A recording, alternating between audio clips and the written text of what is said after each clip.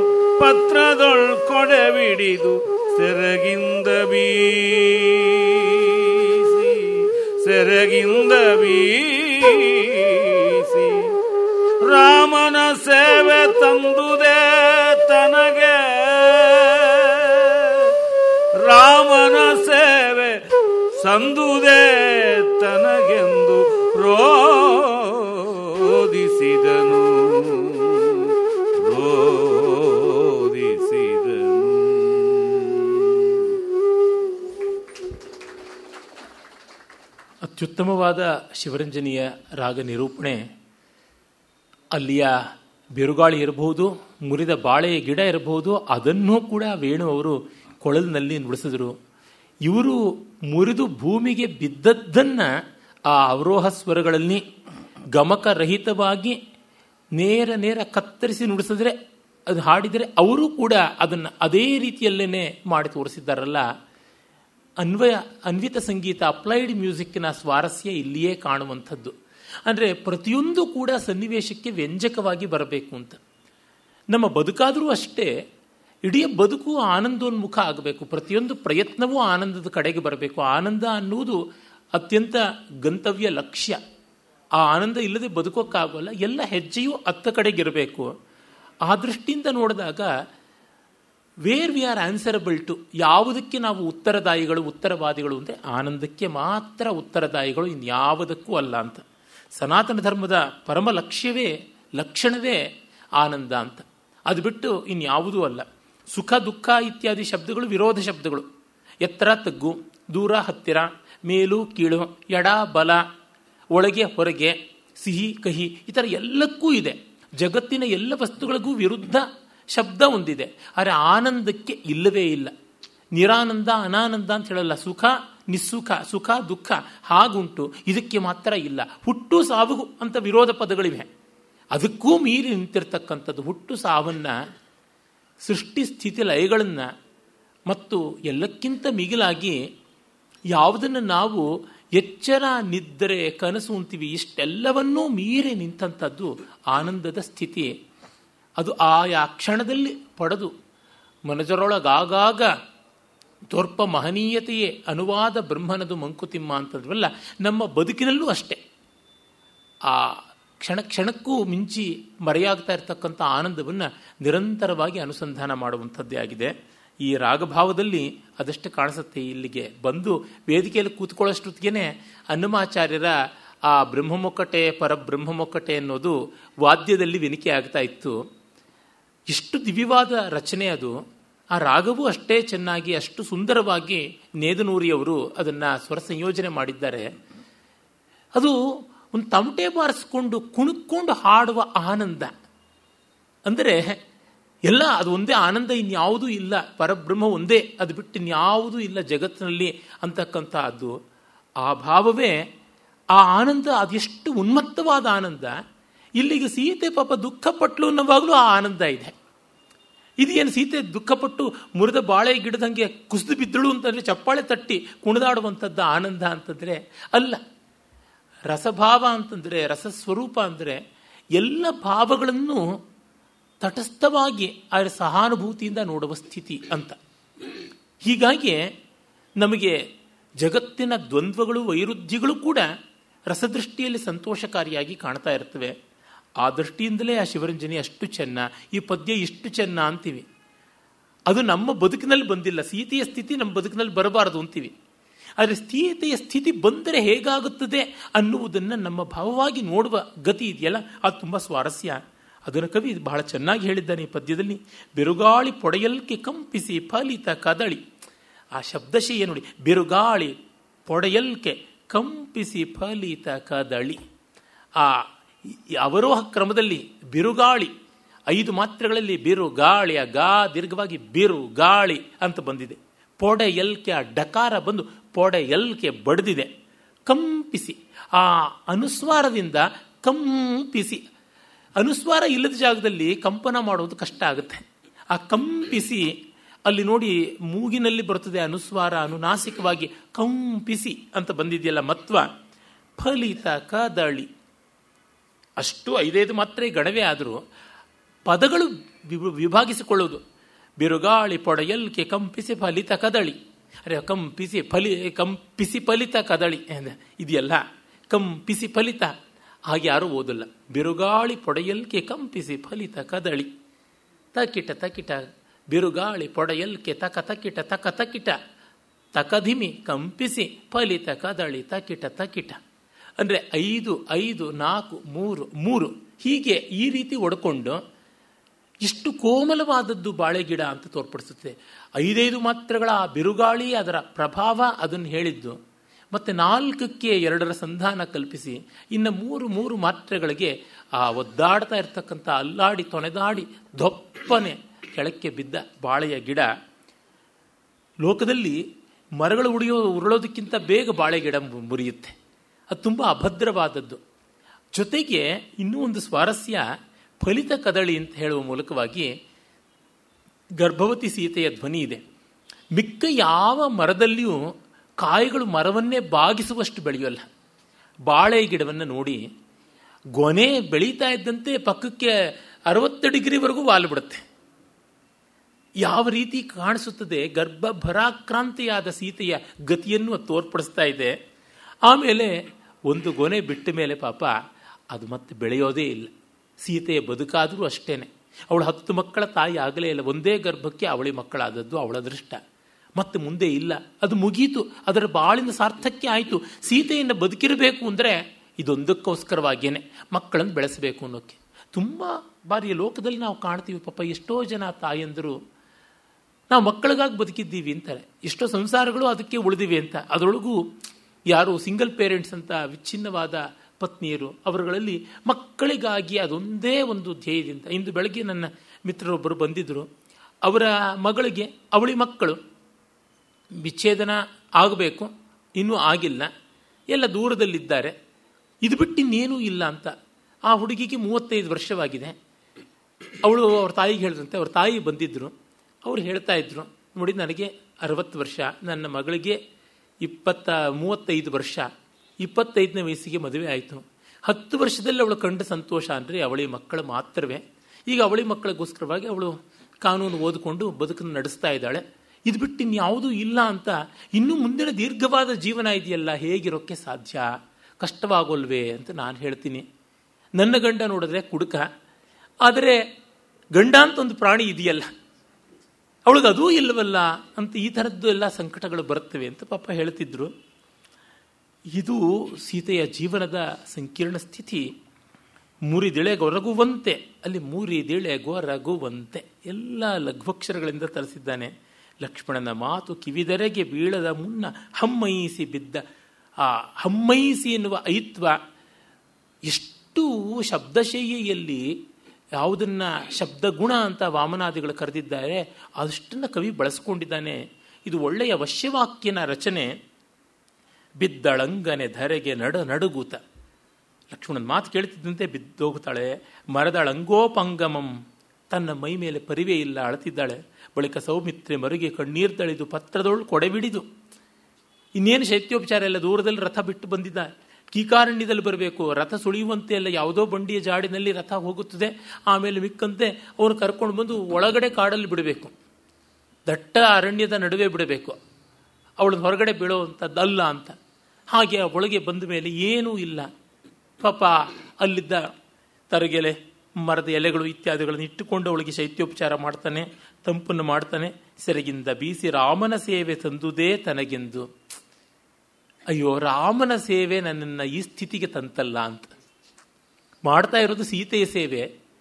ಆದರೆ ರಾಮನ ಸೇವೆ ಅಂದರೆ ಈ ಸ್ಥಿತಿಗೆ ನನ್ನನ್ನು ತಂದು ಬಿಡುತ್ತಾ ಅಂತ. ನಾವು ಒಂದಕ್ಕೆ ಬದ್ಧರಾಗಿ ಬಾಳುವಾಗ ಯಾವ ಮಟ್ಟಕ್ಕೆ ಹೋಗ್ತೀವಿ ಅಂತಂದರೆ ಇಷ್ಟು ಕಠೋರಿಗಳು ಆಗಿಬಿಡ್ತೀವಿ.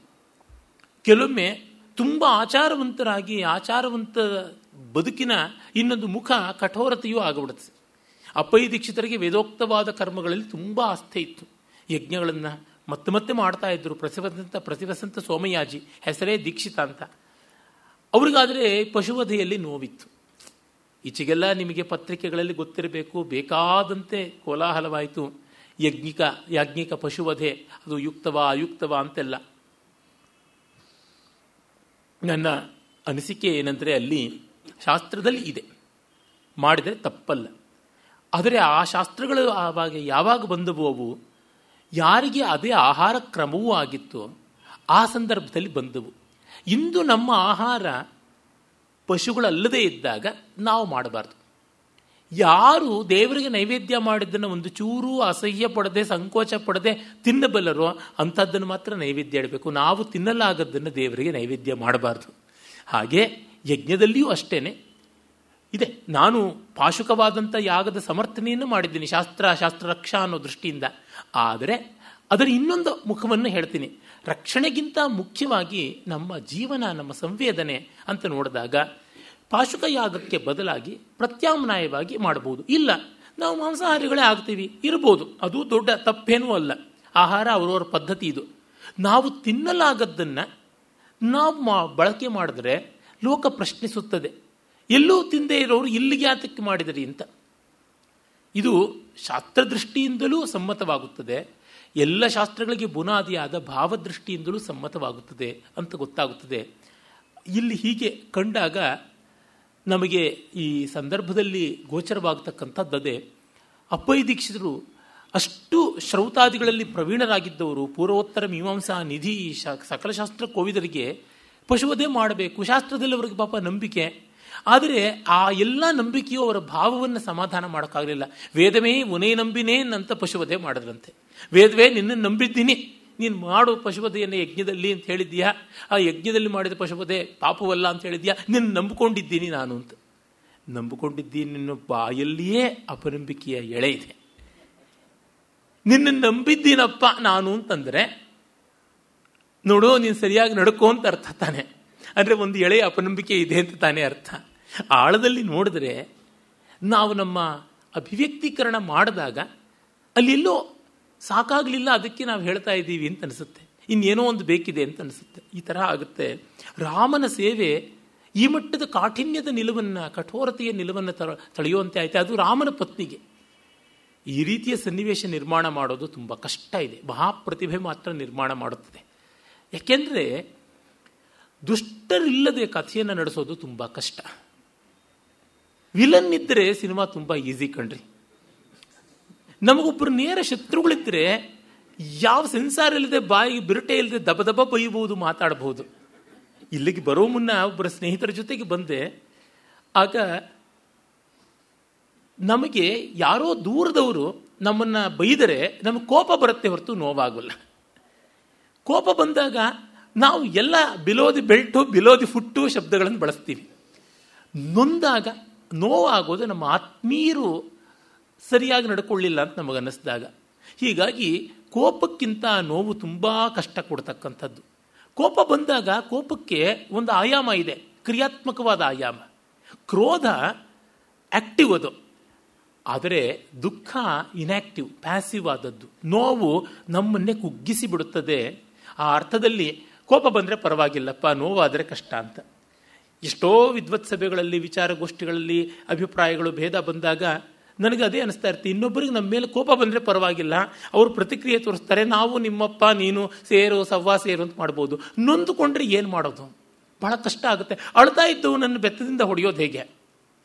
ಹೊಡೆಯೋಕ್ಕೆ ಬಂದವನನ್ನು ನಾವು ಹೊಡೆಯೋದಕ್ಕೆ ಬೇಕಾದ್ರೆ ಹೋಗಬಹುದು ಆಧುನಿಕ ಮಾತ್ರವಲ್ಲ, ಪ್ರಾಚೀನ ಎಲ್ಲ ಕಾಲದಲ್ಲಿಯೂ ಸುಸಂಸ್ಕೃತರಾದ ಸಂವೇದನೆಯ ಕ್ರಮ ಹೀಗೆ ಆಗಿರುತ್ತದೆ. ಉತ್ತರಕಾಂಡದಲ್ಲಿ ಕಳರೇ ಇಲ್ಲ, ದುಷ್ಟರೇ ಇಲ್ಲದ ಸನ್ನಿವೇಶ. ರಾವಣ ಸತ್ತ ಮೇಲೆ ರಾಮಾಯಣ ನಡೀತಾ ಇದೆ ಅಂದರೆ ನೋಡಿ, ಇನ್ನೆಂಥದ್ದಾಗಿರಬೇಕು. ವ್ಯಾಸ ವಾಲ್ಮೀಕಿಗಳ ಮಹಾಪ್ರತಿಭೆ, ಕಾಳಿದಾಸನ ಮಹಾಪ್ರತಿಭೆ, ಭಾಸ ಮಹಾಕವಿಯ ಮಹಾಪ್ರತಿಭೆ ಇಂಥದ್ದು. ಆಂಟಿ ಕ್ಲೈಮ್ಯಾಕ್ಸ್ ಅಲ್ಲ ಅದು. ಕ್ಲೈಮ್ಯಾಕ್ಸ್ ಮುಗಿದ ಮೇಲೂ ನಡೀತಾ ಇರುತ್ತೆ. ಬದುಕಿನ ಸ್ವಾರಸ್ಯ ಇಲ್ಲಿಯೇ. ಅಂದರೆ ಲೋಕಸಾಮಾನ್ಯದ ಕಾರ್ಯಕಾರಣ ಭಾವದಲ್ಲಿ ಸೆನ್ಸ್ ಆಫ್ ಅಚೀವ್ಮೆಂಟಲ್ಲಿ ಮುಗಿದೋಗಿದ್ರೂ ಕತೆ ಸೆನ್ಸ್ ಆಫ್ ಎಂಜಾಯ್ಮೆಂಟಲ್ಲಿ ಮುಗಿದಿಲ್ಲ ಅಂತ. ಸಸ್ಟೈನ್ ಮಾಡುತ್ತದೆ. ಅದು ಹೇಗೆ ಅಂತಂದರೆ, ಒಂದು ರಾಗ ಸ್ವರೂಪವನ್ನು ತೋರಿಸಿದ ಮೇಲೂ, ಅದನ್ನು ಕೇಳಿದ ಮೇಲೂ ನಮ್ಮ ಮನಸ್ಸಿನಲ್ಲಿ ರಾಗದ ಸಂವೇದನೆ, ಲಿಂಗರಿಂಗ್ ಎಫೆಕ್ಟ್ ಅಂತೀವಲ್ಲ ರಾಗ ಸಂಗೀತದ ವಿನಿಕೆ ನಿಂತು ಹೋಗಿದ್ದಾಗಲೂ ಕಿವಿಯಲ್ಲಿ ಗುನುಗುತ್ತಲ್ಲ ಅದು ಮತ್ತೂ ಸ್ವಾರಸ್ಯ. ಊಟ ಮುಗಿದ ಮೇಲೆ ಕೈ ನೆಕ್ಕದಂತೆ. ಡಿ ವಿ ಬರೀತಾರೆ, ಕರ ಪುನರ್ಲೇಹದ ಲೇಹನದಿಂ ಸಂತೋಷ ಪಡುವ ಹಾಗೆ ಅಂತ. ಆ ಚರ್ಪಣ ಅಂತಂತೀವಿ. ಹೀಗೆ ಉತ್ತರ ಕಾಂಡವನ್ನು ವಾಲ್ಮೀಕಿಗಳು ಮಾಡಿದಾಗ, ಯಾರನ್ನೂ ಬೈಯೋಕ್ಕಾಗೋಲ್ಲ ಲಕ್ಷ್ಮಣನ ದೂರೋಣವಾ ಸೀತೆಯನ್ನು ದೂರೋಕ್ಕಾಗತ್ಯ ರಾಮನ ದೂರೋಣವಾ, ಏನೂ ಮಾಡೋಕ್ಕಾಗೋಲ್ಲ. ಪಾಂಡವರು ಪಟ್ಟಾಭಿಷಿಕ್ತರಾದ ಮೇಲೆ ಇನ್ನು ಎಂಟು ಪರ್ವಗಳಷ್ಟು ಮುಗಿಯ ಮುಂದುವರಿಯುತ್ತದೆ. ಅಲ್ಲಿ ಏನಂತ ಹೇಳೋಣ? ಆಶ್ರಮವಾಸಿಕ ಪರ್ವದ್ದಾಗಲಿ, ಮೌಸಲ ಪರ್ವದ್ದಾಗಲಿ, ಹೇಗೆ ಆ ದುಃಖವನ್ನು, ನೋವನ್ನು, ಆ ಜೀವ ಪಾವಕವಾದ, ಶೋಧಕವಾದ ಆ ಕರುಣರಸವನ್ನು ಯಾವ ರೀತಿಯಾಗಿ ವಿವರಿಸೋದಕ್ಕೆ ಸಾಧ್ಯವಾಗುತ್ತದೆ? ನನಗೆ ಇತ್ತೀಚಿನ ಮಹಾರಚನೆಗಳಲ್ಲಿ ಭೈರಪ್ಪನವರ ಎಷ್ಟೋ ಕಾದಂಬರಿಗಳಂಥವು ಅಂತ ಅನಿಸುತ್ತದೆ ವಂಶವೃಕ್ಷದಲ್ಲಿ ಕೆಟ್ಟ ಪಾತ್ರವೇ ಇಲ್ಲ. ಒಬ್ಬನೇ ಒಬ್ಬ ಬರ್ತಾನೆ, ಅದು ಗೆಸ್ಟ್ ಅಪಿಯರೆನ್ಸು ಫ್ಲ್ಯಾಶ್ ಬ್ಯಾಕ್ನಲ್ಲಿ ಅದು ಸೀನಿಯರ್ ನಂಜುಂಡೆ ಶ್ರೋತ್ರಿ, ಶ್ರೀನಿವಾಸ ಶ್ರೋತ್ರಿಗಳ ಅಪ್ಪ. ಅವನೊಬ್ಬ ದುಷ್ಟ ಅನ್ನೋದು ಬಿಟ್ಟರೆ ಅದು ಬೇರೆಯವರ ಮಾತಿನಿಂದ ಗೊತ್ತಾಗುತ್ತೆ. ಅವನು ಕಾಣಿಸೋದೂ ಇಲ್ಲ. ಈಸ್ ಔಟ್ ಆಫ್ ಪಿಕ್ಚರ್ ಇನ್ನು ಯಾವ ಪಾತ್ರವೂ ಕೆಡಕು ಪಾತ್ರ ಇಲ್ಲ. ಯಾರನ್ನು ಬೈತೀರಾ ನೀವು? ನಾಗಲಕ್ಷ್ಮಿನ ಬೈತೀರಾ? ಕರುಣಾರತ್ನ ಬೈತೀರಾ? ಸದಾಶಿವರಾಯರನ್ನ ಬೈತೀರಾ? ರಾಜನ್ ಬೈತೀರಾ? ಕಾತ್ಯಾಯನಿಯನ್ನು ಬೈತೀರಾ? ಶ್ರೋತ್ರೇನ ಬೈತೀರಾ? ಲಕ್ಷ್ಮೀನ ಬೈತೀರಾ? ಭಾಗೀರಥಮ್ಮನ ಬೈತೀರಾ? ಯಾರನ್ನೂ ಬೈಯೋಕ್ಕಾಗೋಲ್ಲ. ಚೀನಿನ ಬೈತೀರಾ? ಯಾರನ್ನೂ ಬೈಯೋಕ್ಕಾಗೋಲ್ಲ. ಯಾರನ್ನೂ ಬೈಯೋಕ್ಕಾಗದೇ ಇದ್ರೆ ನಮ್ಮಲ್ಲಿ ಸಮಾಜದಲ್ಲಿ ಒಬ್ಬರ ಮೇಲೆ ಗೂಬೆ ಕೂಡಿಸೋದು ಬಹಳ ಸುಲಭ. ಕೂಡಿಸೋದಕ್ಕೆ ಒಬ್ಬರ ತಲೆ ಕಾಣಿಸ್ಬಿಟ್ರೆ ಸಾಕು, ಗೂಬೆ ಹದ್ದು ಕಾಗಿ ಎಲ್ಲ ಕೂಡಿಸ್ಬಿಡ್ಬೋದು. ಯಾರೂ ಇಲ್ಲದೇ ಇದ್ದಾಗ ಇನ್ನೂರೈವತ್ತು ಮುನ್ನೂರು ನಾನ್ನೂರು ಪುಟಗಳ ಕಾದಂಬರಿ ನಡೆಸೋದಿದೆಯಲ್ಲ, ಮಹಾಪ್ರತಿಭೆ, ತುಂಬ ತುಂಬ ದೊಡ್ಡ ಪ್ರತಿಭೆ ಆದಂಥದ್ದು. ಅಂದರೆ ಕಾಂಟ್ರಾಸ್ಟ್ ಅನ್ನುವುದು ಇಲ್ಲದೇ ಇದ್ದಾಗ ನೀವು ಹೇಗೆ ಶೇಡ್ಸನ್ನು ಕಲ್ಪಿಸ್ತೀರಾ ನೋಡಿ. ತುಂಬ ಕಷ್ಟ. ಹಬ್ಬ ಇಲ್ಲದೆ ಇದ್ದಾಗ ರುಚಿ ಅಡುಗೆ ಮಾಡೋದು ಹೇಗೆ? ಅಂದವಿಲ್ಲದೆ ಇದ್ದಾಗ ಅಲಂಕಾರ ಮಾಡ್ಕೊಳ್ಳೋದು ಹೇಗೆ? ಎಂತೆಂಥ ಸವಾಲುಗಳು. ಏನು ಮಾಡಿಕೊಂಡ್ರೂ ವ್ಯರ್ಥ ಆಗುತ್ತೆ. ಅಂದ ಇಲ್ಲದೆ ಇದ್ದಾಗ ಆತ್ಮ ಸೌಂದರ್ಯದಿಂದಲೇ ಅಲಂಕಾರ ಮಾಡ್ಕೊಳ್ಬೇಕು, ಬೇರೆ ದಾರಿ ಇಲ್ಲ. ಹಬ್ಬವಿಲ್ಲದೆ ಇದ್ದಾಗ ಪ್ರೀತಿಯಿಂದಲೇ ಅಡುಗೆಗೆ ರುಚಿ ತರಿಸಬೇಕು, ಬೇರೆ ದಾರಿ ಇಲ್ಲ. ಈ ರೀತಿಯಲ್ಲಿ ಈ ಸನ್ನಿವೇಶವನ್ನು ಕವಿ ನಿರ್ಮಾಣ ಮಾಡಿದ್ದಾನೆ. ಇಲ್ಲ, ಮಹಾಕವಿಗಳು, ಭಗವಾನ್ ವ್ಯಾಸ ವಾಲ್ಮೀಕಿಗಳಿಗೆ ಸಲ್ಲಬೇಕಾದದ್ದು. ಅರೆ, ನಮ್ಮ ಪರಂಪರೆಯ ಘನತೆ ಏನಂದರೆ, ಅವರು ದೊಡ್ಡವರು ಅಂತ ಅವರನ್ನು ಬಿಡದೆ ಹಿಡ್ಕೊಂಡಿದ್ದಿತ್ತು ಇದು ತುಂಬ ದೊಡ್ಡದು. ದೊಡ್ಡವರನ್ನ ಒಪ್ಕೊಳ್ಳೋದಕ್ಕೆ ಅಲ್ಪ ಸ್ವಲ್ಪದ ಔದಾರ್ಯ ಬೇಕಾಗೋಲ್ಲ. ಹೊಟ್ಟೆ ಕಿಚ್ಚು ಬರುತ್ತೆ. ಅವ್ರು ದೊಡ್ಡವರಾಗ್ಬಿಟ್ರಲ್ಲ ನಾವಿಂದೂ ಅವ್ರ ಮುಂದೆ ಕುಬ್ಜರು ಅಂತ. ಪಾಶ್ಚಾತ್ಯರಲ್ಲಿ ಪಿತೃಹಂತಕ ಪರಂಪರೆ ಇದೆ. ಅದು ನಮ್ಮಲ್ಲಿಯೂ ಇದೆ ಅಂತ ಗಿರೀಶ್ ಕಾರ್ನಾಡ್ ಅಂತ ಅವರೆಲ್ಲ ಅಪಲಾಪ ಮಾಡ್ತಾರೆ. ಹಿಂದಿನವ್ರನ್ನ ಬೈದು ಬಿಡೋದು ಅಂತ. ನಮ್ಮಲ್ಲಿ ಬೈದಿಲ್ಲ ಹಾಗೆ. ದೊಡ್ಡ ಉದಾಹರಣೆ ನವೋದಯದವರು ಒಮ್ಮೆನೂ ಕೂಡ ಪಂಪನ್ನೋರನ್ನೋ ಕುಮಾರವ್ಯಾಸನ್ನೋ ಬೈಲಿಲ್ಲ. ಸರಿತಪ್ಪುಗಳ ವಿಮರ್ಶೆಯನ್ನು ಸಭ್ಯವ ಸದಭಿರುಚಿಯಿಂದ ಮಾಡಿದ್ರು.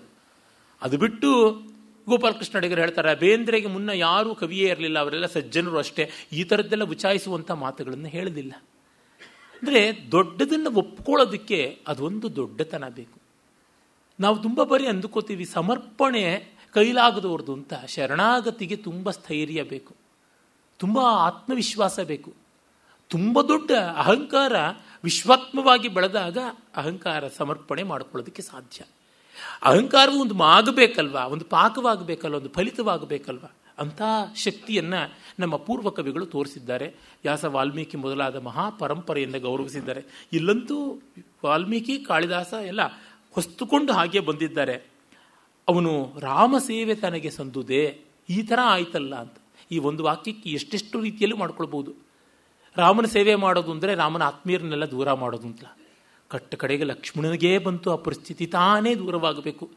When was in service of Rama he was appoint to go away from Rama ಅದಕ್ಕಿಂತ ಇನ್ನೇನು? ನನ್ನ ಕೈಯ ಕತ್ತಿ ನನ್ನ ಕೊಟ್ಟಿರೋದು, ನನ್ನ ಕುತ್ತಿಗೆಯನ್ನು ಕತ್ತರಿಸ್ಕೊಳ್ಳೋಕ್ಕೆ ಅಂತಂದರೆ, ನನ್ನ ಪೇಪರ್ ನನಗೆ ವ್ಯಾಲ್ಯೂಯೇಷನ್ಗೆ ಬಂದಿರೋದು ಯಾತಕ್ಕೆ ನಾನು ಸೊನ್ನೆ ಸುತ್ತಕೊಳ್ಳೋಕ್ಕೆ ಅಂತಂತೆ ಎಂಥ ವಿಡಂಬನೆ. ಇದನ್ನು ಕಂಡಾಗ ನಮಗೆ ನಮ್ಮ ಈ ಜೀವನದ ನೋವುಗಳು ಸಹನೀಯ ಅನಿಸುತ್ತೆ. ಈ ಮಹನೀಯರ ನೋವುಗಳನ್ನು ಕಂಡ ಮೇಲೆ ನಮ್ಮ ನೋವು ಸಹನೀಯ ಅಂತ ಅನಿಸುತ್ತದೆ. ಹಾಗಾದಾಗ ನಮಗೆ ಅದನ್ನು ದಾಟಿಕೊಳ್ಳುವ ಅವಕಾಶವೂ ಕಾಣಿಸುತ್ತದೆ. ಒಮ್ಮೆ ನಮಗೆ ತಾಳ್ಮೆ ಇದೆ ಅಂತ ಗೊತ್ತಾದಾಗ ಅಲ್ಲಿ ಬಾಳ್ಮೆ ಬಂದೇ ಬಂದುಬಿಡುತ್ತದೆ. ಮುಂದಿನ ಪದ್ಯವನ್ನು ನೋಡೋಣ.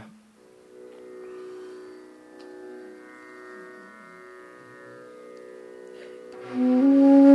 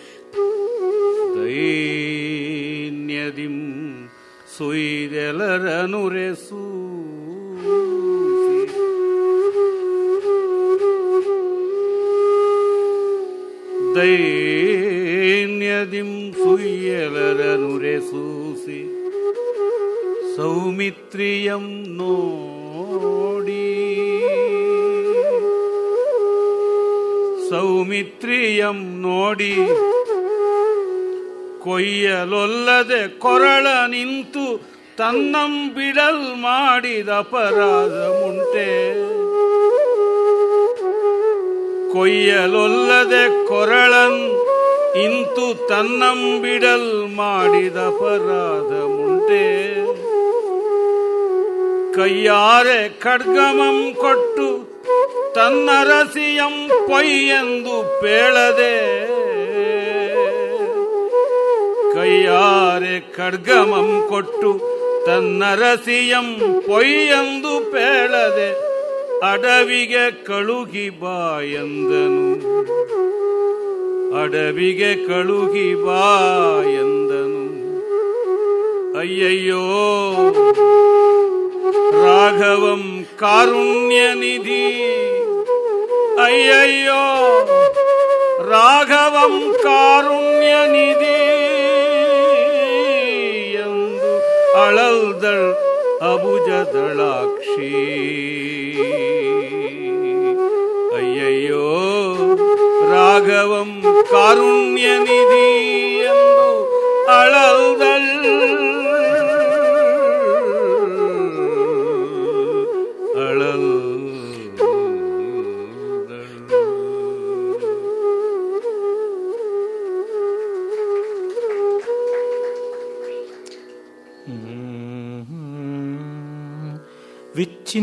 वंशकाण्डेऽपि व्यच्छिन्नस्वरसङ्क्रमम् विच्छिन्नवंशकाण्डेऽपि व्यच्छिन्नस्वरसङ्क्रमम् व्यच्छिन्नस्वरसङ्क्रमम् इच्छया प्रायशो वाण्याः इच्छया प्रायशो वाण्याः प्रस्तूती वेणुरञ्जसा वेणुरञ्जसा। सुकुमारतरा काचित् तरीव स्वरसङ्क्रमे।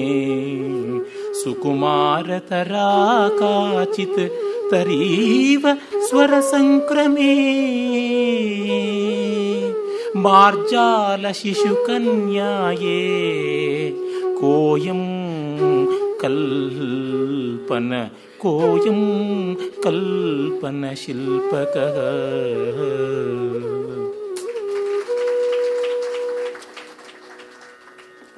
ಈ ಪದ್ಯದ ಆರಂಭದಲ್ಲಿ ಅದ್ಯಂತ ಅವರು ವೇಣುವರು, ಕತ್ತರಿಸಿ ಹೋದ ವಂಶ, ಒಣಗಿದ ಬಿದಿರು ವಿಚ್ಛಿನ್ನ ವಂಶ ಕಾಂಡೇಪಿ. ವಂಶವೇ ತುಂಡಾಗಿದೆ. ವಂಶ ಅಂದರೆ ಬಿದಿರು ಅಂತ ಒಂದರ್ಥ ಕುಲ ಅಂತ ಒಂದರ್ಥ ಒಂದು ತುಂಡು ಬಿದರೊಳಗೆ ಆ ಚಿನ್ನ ಸ್ವರ ಸಂಕ್ರಮವನ್ನು ಪ್ರಾಯಶಃ ಸರಸ್ವತಿ ಇಚ್ಛೆಯಿಂದಲೇ ಈ ಥರ ನುಡಿಸಿದ್ರು ಅಂತ ಅನಿಸುತ್ತೆ. ಅದು ಏನದು? ಆ ಸ್ವರಗಳನ್ನು ಅವ್ರು ಎಷ್ಟು ಕೋಮಲವಾಗಿ ಸ್ಪರ್ಶ ಮಾಡಿದ್ದಾರೆ ಅಂದರೆ ಬೆಕ್ಕು ತನ್ನ ಮರಿಯನ್ನು ತಾನು ಬಾಯಲ್ಲಿ ಕಚ್ಕೊಂಡು ತಗೊಂಡು ಹೋಗುತ್ತಲ್ಲ?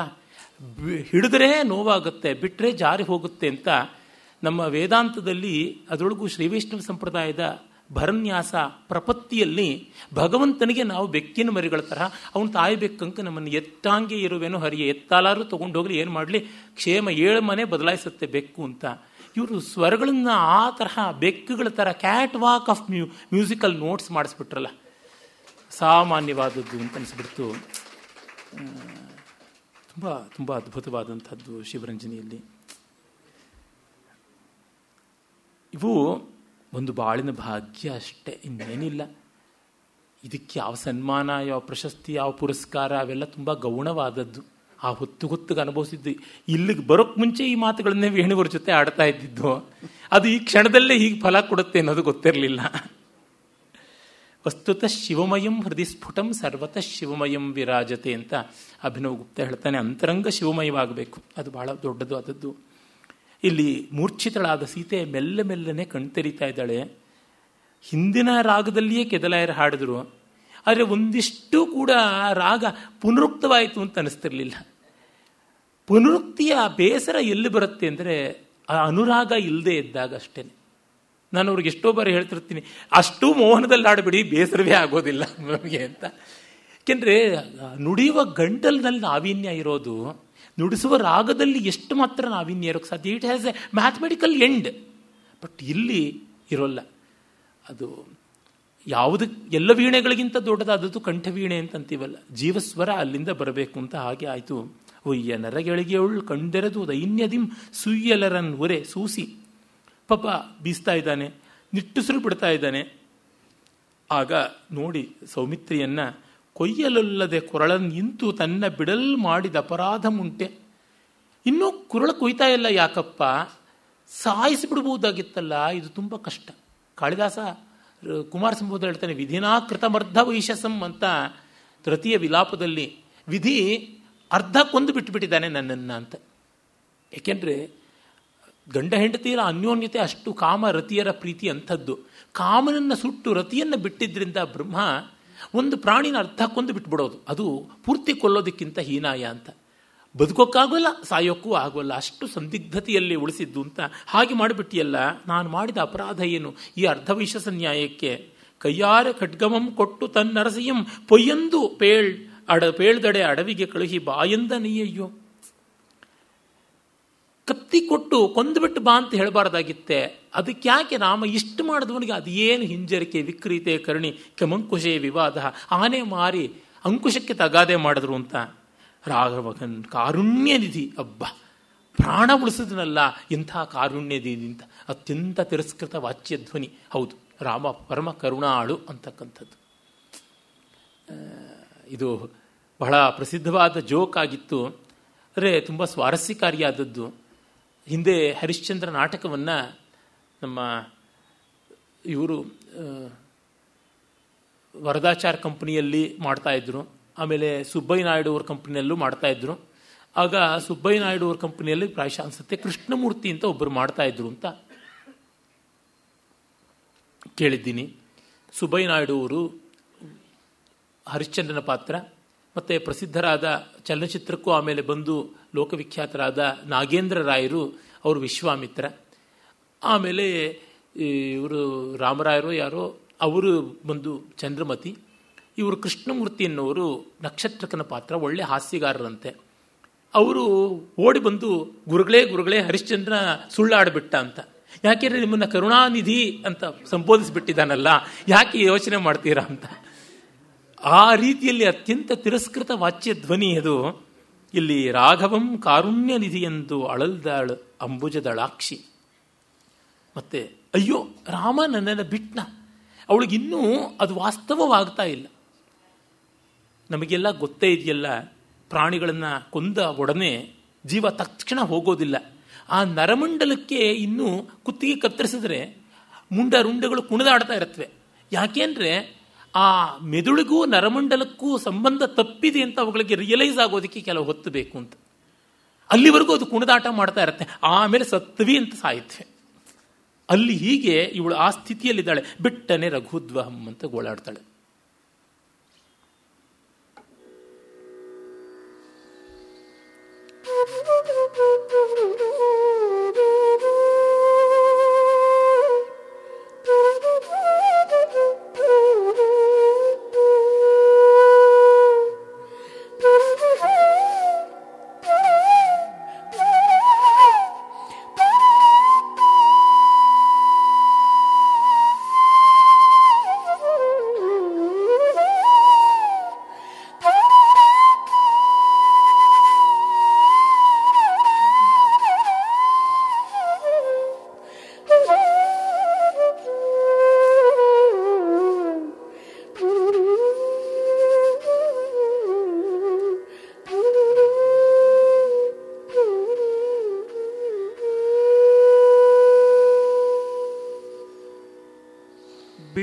ಬಿಟ್ಟನೆ ರಘುದ್ವಗಂ ತನ್ನ ಅಕಟ ಅಕಟಕಟ ಬಿಟ್ಟನೆ ರಘುದ್ವಗಂ ತನ್ನ ಅಕಟಕಟ ತಾ ಮುಟ್ಟನೆ ನೆಗಳ್ದ ಬಾಳ್ಕೆಗೆ ಸಂಚಕಾರಮಂ ಕೊಟ್ಟನೆ. ನೆಗಳ್ದ ಬಾಳ್ಕೆಗೆ ಸಂಚಕಾರಮಂ ಕೊಟ್ಟನೆ. ಸುಮಿತ್ರಾ ತನುಜ ಕಟ್ಟರಣ್ಯದೊಳ್ ಕಳುಗಿ ಎಂದು ನಿನಗೆ ಕೊಟ್ಟನೆ ನಿರೂಪಮಂತ. ಸುಮಿತ್ರಾ ತನುಜ ಕಟ್ಟರಣ್ಯದೊಳ್ ಕಳುಗಿವ ಎಂದು ನಿನಗೆ ಕೊಟ್ಟನೆ ನಿರೂಪಮಂತಾನ್ ಕಣ್ಬಟ್ಟೆಗೆಟ್ಟನೆ ಮನೋವಲ್ಲಭನ್ ಎನ್ನ ಕಣ್ಬಟ್ಟೆಗೆಟ್ಟನೆ ಮನೋವಲ್ಲಭನನ್ ಅಗಲ್ದು ಅಡವಿಯೊಳ್ ನೆಟ್ಟನೆ ಪಿಶಾಚದವೋಲ್ ಎಂತಿಗೆನೋ ಪಿಶಾಚದವೋಲ್ ಎಂತಿಗೆನೋ ಕೆಟ್ಟೆನಲ್ಲ ಕೆಟ್ಟೆನಲ್ಲ. ಕೆಟ್ಟೆನಲ್ಲ ಎಂದು ವರೌದು ಅಳಲ್ದಳ ಬಲೆ. ಅಯ್ಯೋ, ಕೆಟ್ಟನಲ್ಲ.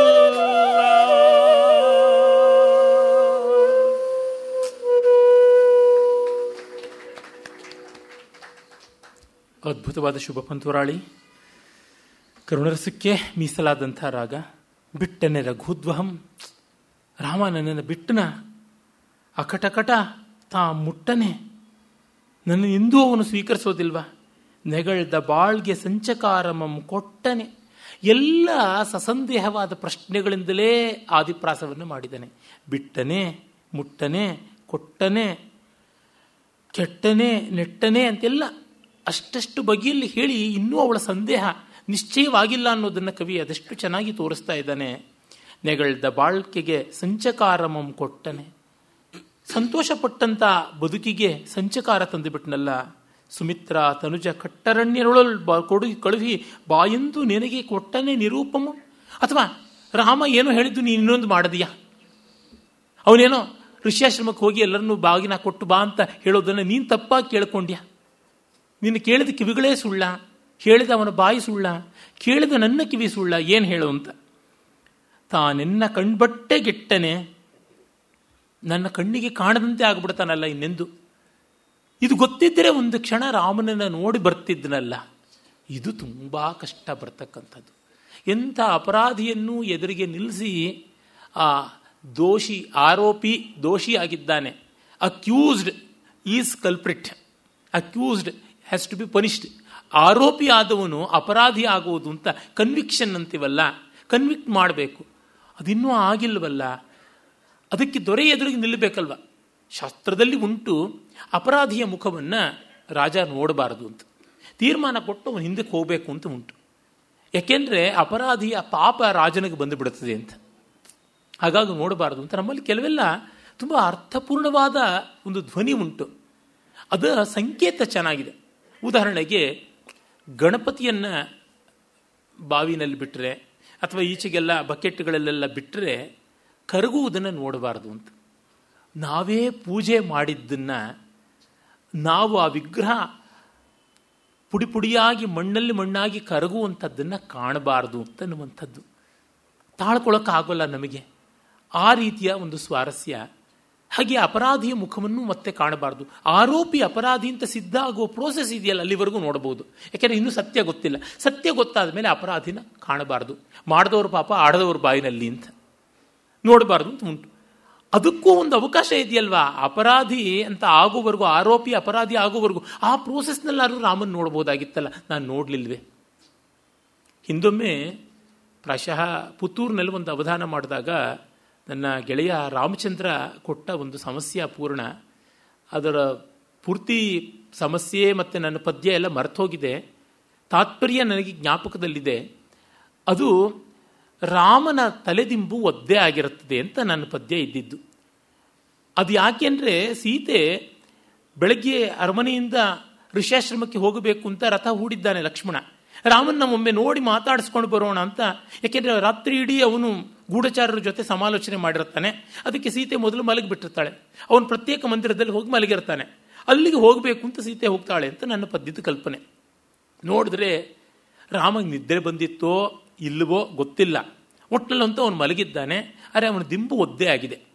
ಅದು ಕಾಡಿಗೆ ಬಂದ ಮೇಲೆ ಸೀತೆ ಜ್ಞಾಪಿಸ್ಕೋತಾ ಇದ್ದಾಳೆ. ಇದಕ್ಕಾಗಿ ಒದ್ದೆ ಆಯ್ತಾ? ರಾಮನ ತಲೆದಿಂಬು ನನ್ನನ್ನು ಪರಿತ್ಯಜಿಸಬೇಕು ಅನ್ನೋ ದುಃಖದಿಂದ ಒದ್ದೆ ಆಯ್ತಾ ಅನ್ನುವಂಥದ್ದು. ಅಂದರೆ ಅವನಿಗೇನು ಸಂತೋಷದ ಸಂಗತಿ ಅಲ್ಲ ಅರೆ ಅವನು ಹಾಗೆ ಹೊರಳಿ ಮಲಗಿದ್ದರಿಂದ ಅವನ ಮುಖವನ್ನು ಪೂರ್ತಿ ನೋಡೋಕ್ಕಾಗಲಿಲ್ಲ ತನಗೆ ಅಂತ. ಒದ್ದೆಯಾದ ದಿಂಬನ್ನು ನೋಡೋಕ್ಕಾಯಿತು. ಅರೆ ಮುಖವನ್ನು ನೋಡೋಕ್ಕಾಗಲಿಲ್ಲ. ಒಂದು ಪಕ್ಕ ಹೊರಳಿ ಮಲಗಿದ್ದಾನೆ, ಗೋಡೆ ಕಡೆ ಮಲಗಿದ್ದಾನೆ ಈ ರೀತಿಯಾದ ಕಲ್ಪನೆಯಲ್ಲಿ. ಸೂಕ್ಷ್ಮವಾದ ಭಾವ ಸನ್ನಿವೇಶಗಳನ್ನು ಈ ಥರ ಕಥೆಗಳಲ್ಲಿ ಎಷ್ಟು ಮಾಡ್ಬೋದು ನಮಗೆ? ಹೊಸ ಕತೆ ಬೇಕಾಗಲ್ಲ ಅನ್ನೋದು ಈ ಕಾರಣಕ್ಕೆ. ಅದನ್ನೇ ಮತ್ತೆ ಬೇರೆ ಬೇರೆ ರೀತಿಯಲ್ಲಿ, ಬೇರೆ ಬೇರೆ ಸಂದರ್ಭಗಳಲ್ಲಿ ಬಗೆ ಬಗೆಯಾದ ರೀತಿಯಲ್ಲಿ ತೋರಿಸ್ತಾ ಇರ್ತೀವಿ. ಹೀಗೆ ರಾಮನನ್ನು ನೋಡುವ ಅವಕಾಶವೂ ಹೊರಟೋಯ್ತಲ್ಲ ಅಂತ. ನಮ್ಮೆಲ್ಲರಿಗೂ ಬದುಕಿನಲ್ಲಿ ಒಂದು, ಬಂದೇ ಬರುತ್ತದೆ ಪ್ರಶ್ನೆ. ಏನಂದರೆ ನಮಗೆ ಹುಟ್ಟು ನಿಶ್ಚಿತವಾಗಿ ಗೊತ್ತಿರುತ್ತದೆ. ಯಾರು ಯಾವತ್ತು ಹುಟ್ಟುತ್ತಾರೆ ಸಾಮಾನ್ಯವಾಗಿ ಒಂಬತ್ತು ತಿಂಗಳಿಗೆ ಮುಂಚೆನೇ ಸಾಮಾನ್ಯ ನಿಶ್ಚಯವಾಗುತ್ತೆ. ಏಳು ತಿಂಗಳಿಗೆ ಹುಟ್ಟದೇ ಇದ್ದರೆ ಆದರೆ ಸಾವು ಯಾವಾಗ ಅಂತ ಗೊತ್ತಿಲ್ಲ. ಅದು ಗೊತ್ತಿದ್ದರೆ ಅದಕ್ಕೆ ಮುನ್ನ ನಾವು ಯಾರಿಗೇನು ಹೇಳಬೇಕು, ಏನು ಮಾಡಬೇಕು ಅದೆಲ್ಲ ಮಾಡಬಹುದು ಈಚೆಗೆ ನನ್ನ ಒಬ್ಬ ಸ್ನೇಹಿತನ ಜೊತೆಗೆ ಮಾತನಾಡ್ತಾ ಒಂದೆರಡು ಮೂರು ತಿಂಗಳ ಕೆಳಗೆ, ಸಾವು ಬರುತ್ತೆ ಅಂದರೆ ನೀನು ಏನೇನು ಸಿದ್ಧತೆ ಮಾಡ್ಕೋತೀಯ ಅಂತ ಕೇಳಿದ್ದೆ. ಅವನು ತುಂಬ ಚೆನ್ನಾಗಿರತಕ್ಕಂಥ ಉತ್ತರವನ್ನು ಕೊಟ್ಟಿದ್ದ. ಅವನು ಬಹಳ ಚೆನ್ನಾಗಿ ಹೇಳಿದ್ದ, ಡಾಕ್ಟರ್ ಕೃಷ್ಣ, ಒಳ್ಳೆಯ ಆಯುರ್ವೇದ ವಿದ್ವಾಂಸ, ಒಳ್ಳೆಯ ಪಂಡಿತ, ಜ್ಞಾನಿ, ಚಿಕ್ಕ ವಯಸ್ಸಿನ ನನ್ನ ಕೆಲವರು ಸ್ನೇಹಿತರಿಂದ ನಾನು ಎಷ್ಟೋ ಕಲ್ತಿದ್ದೀನಿ ಅಂತ ಸಂತೋಷವಾಗಿ ಒಪ್ಕೋತೀನಿ ಸಂಕೋಚವಿರದೆ ಒಪ್ಕೋತೀನಿ. ಆ ರೀತಿಯಾದ ಒಂದಷ್ಟು ಜನ ಚಿಕ್ಕ ವಯಸ್ಸಿನ ಸ್ನೇಹಿತರ ಭಾಗ್ಯ ನನ್ನದು. ಹಾಗೆ ನಾನು ಯಾರಿಂದ ಕಲ್ತಿದ್ದೀನಿ ಅಂಥ ನನ್ನ ಚಿಕ್ಕ ವಯಸ್ಸಿನ ಗುರುಪಂಕ್ತಿಯಲ್ಲಿ ಅವನು ಒಬ್ಬ. ನಮ್ಮ ಸೂರ್ಯಪ್ರಕಾಶ, ನಮ್ಮ ವಾಸುಕಿ, ನಮ್ಮ ಇವನು ಕೃಷ್ಣ, ಈ ಥರ ಒಂದು ಹಲವಾರು ಜನ ಇದ್ದಾರೆ. ಒಂದು ಎಂಟತ್ತು ಜನ ತರುಣ ಮಿತ್ರರು ಅವರಿಂದ ನಾನು ಕಲ್ತಿದ್ದೀನಿ, ತುಂಬ ಕಲಿತಾ ಇದ್ದೀನಿ ಕೂಡ. ಹಾಗೆ ಅವನು ಹೇಳ್ತಿದ್ದ ನಮ್ಮ ತಾಯಿಗೆ ಒಂದಷ್ಟು ಸಮಯ ಕೊಡ್ತೀನಿ, ಅಮ್ಮನ ಜೊತೆ ಹರಟ್ತೀನಿ ಮತ್ತು ರಾಮಕೃಷ್ಣನ ಜೊತೆ ಮಾತಾಡ್ತೀನಿ. ಅಂದರೆ ರಾಮಕೃಷ್ಣ ವಚನವೇದವನ್ನು ಓದ್ತೀನಿ. ಆಮೇಲೆ ಎಲ್ಲಿಗಾರು ಹೋಗ್ಬಿಟ್ಟು ಪಕೋಡ, ಉದ್ನೋಡೆ, ಚಕ್ಲಿ ತಿಂತೀನಿ. ಭಗವದ್ಗೀತೆಯನ್ನು ಒಂದು ಸರ್ತಿ ಅವಲೋಕನ ಮಾಡ್ಕೋತೀನಿ. ಮತ್ತಿನ್ನೇನು ಇಲ್ಲ, ಇಷ್ಟೇನೆ ಅಂತಂದ. ಮೂವತ್ತೆರಡು ವರ್ಷಕ್ಕೆ ಈ ಶಾಂತಿಯಿಂದ ಹೇಳಬಲ್ಲ ಅಂದರೆ ನೀವೇನು ಮಾಡ್ತೀರಾ ಅಂತ, ಮೊದಲು ನನ್ನ ಪುಸ್ತಕಗಳನ್ನು ಯಾರ್ಯಾರಿಗೆ ಎಲ್ಲೆಲ್ಲಿ ಕೊಡಬೇಕು ಅಂತ ಶುರು ಮಾಡ್ತೀನಿ ಅಲ್ಲಿಂದ ಅಂತ. ಅಂದೆ, ಇರೋ ಆಸ್ತಿ ಅದನ್ನು ರವಾನೆ ಮಾಡೋದು ಹೇಗೆ ಅಂತ. ಅಂದರೆ ನಮಗೆ ಯಾವಾಗ ಬರುತ್ತೆ ಅಂತ ಗೊತ್ತಿಲ್ಲವಾದ್ದರಿಂದ ನಮಗೆ ಅಕಸ್ಮಾತ್ ಸತ್ತ ಮೇಲೂ ಜೀವ ಇದ್ದರೆ ಈ ಕೆಲಸ ಮಾಡ್ಬೋದಾಗಿತ್ತಲ್ಲ, ಆಗಲಿಲ್ವಲ್ಲ ಅಂತ ಉಳಿಯುತ್ತೆ. ಇಲ್ಲಿ ಸೀತೆಗೆ ಬಂದ ಸಮಸ್ಯೆ ಅಂಥದ್ದು. ಅವಳಿಗೆ ಭಾವದಿಂದ ಸತ್ತೋಗುವಂಥ ಸ್ಥಿತಿ ಬಂದಿದೆ. ರಾಮನ ವಿಯೋಗ ಅಂದರೆ ಆ ಥರ. ಆಗ ಏನು ಮಾಡಬಹುದು ರಾಮನನ್ನು ನೋಡಿ ಬರ್ಬೋದಾಗಿತ್ತಲ್ಲ, ಅದು ಆಗಲಿಲ್ವಲ್ಲ. ಕಣ್ಬಟ್ಟೆಗೆಟ್ಟೆನೆ ಮನೋವಲ್ಲಭನ್ ವಲ್ಲೋ ಮನೋವಲ್ಲಭನನ್ ಅಗಲ್ದು ಅಡವೆಯುಳ್ ನೆಟ್ಟೆನೆ. ಅಯ್ಯೋ ಅವನನ್ನು ಬಿಟ್ಟು ನಾನಿಲ್ಲಿ ಬದುಕಿರ್ಬೇಕಾ? ಪಿಶಾಚದ ಬೋಲ್ ಪಿಶಾಚ ಅಂತ ಅನ್ನೋದು ತುಂಬ ಧ್ವನಿಪೂರ್ಣವಾದ ಶಬ್ದ. ಸಾವಾಗಿದೆ, ಸಂಸ್ಕಾರವಾಗಿಲ್ಲ. ಸಾವಾಗಿದೆ, ಸಂಸ್ಕಾರವಾಗ್ತಾ ಇದೆ ಅಂದರೆ ಪ್ರೇತ. ಸಾವಾಗಿದೆ, ಸಂಸ್ಕಾರವಾಗೋಲ್ಲ ಅಂದರೆ ಪಿಶಾಚ. ಸಾವಾಗಿದೆ, ಸಂಸ್ಕಾರವೂ ಮುಗಿದಿದೆ ಅಂತಂದರೆ ಪಿತೃದೇವತೆ. ಇದು ಧರ್ಮಶಾಸ್ತ್ರದ ಉತ್ತರ. ಹತ್ತನೇ ದಿವಸ ಆದಮೇಲೆ ಹನ್ನೊಂದನೇ ದಿವಸ ಸಾಪಿಂಡಿಯ ಅಂತ ಸಪಿಂಡೀಕರಣ ಮಾಡ್ತಾರೆ. ಸಪಿಂಡೀಕರಣ ಆದಮೇಲೆ ಇತ ಪರಂಪ್ರೇತ ಶಬ್ದ ಪ್ರಯೋಗೋ ನಾಸ್ತಿ ಅಂತ ಹೇಳ್ತಾರೆ. ಇನ್ನಿಂದ ಮುಂದೆ ಅಲ್ಲಿವರೆಗೂ ಪ್ರೇತ ಪ್ರೇತ ಅಂತಲೇ ಸಂಬೋಧನೆ ಮಾಡ್ತಾ ಇರ್ತಾರೆ.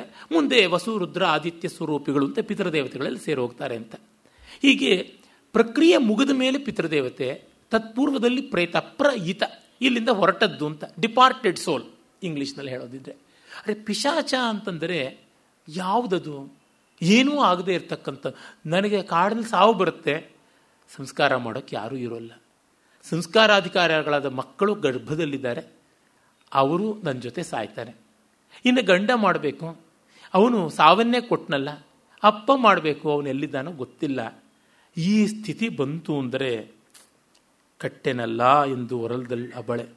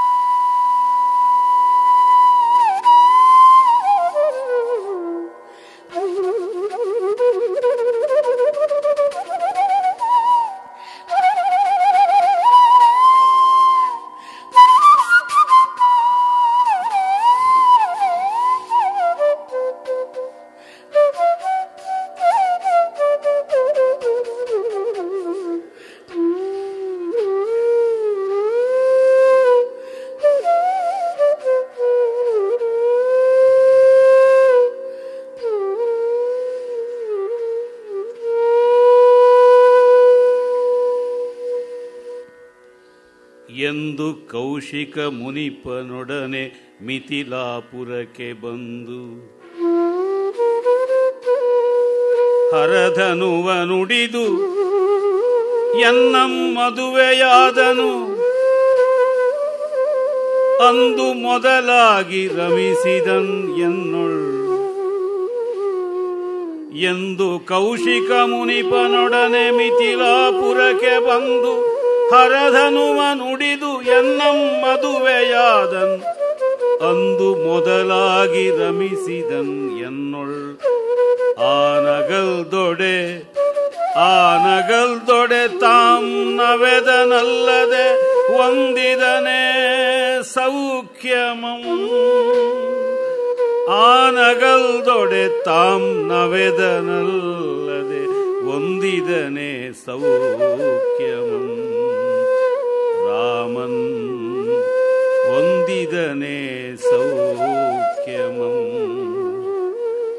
ಎನಗಾಗಿ ಕಪಿವೃಂದಮಂ ನೆರಪಿ, ಕಡಲಂ ಕಟ್ಟಿ, ದೈತ್ಯರಂ ಕೊಂದು, ಅಗ್ನಿಮುಖದೊಳ್ ಪರೀಕ್ಷಿಸಿದ.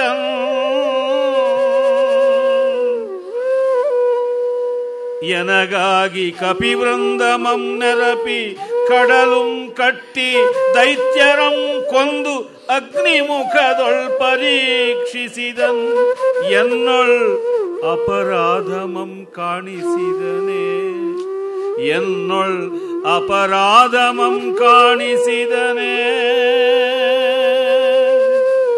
ಎನ್ನೊಳ ಅಪರಾಧಮಂ ಕಾಣಿಸಿದನೆ.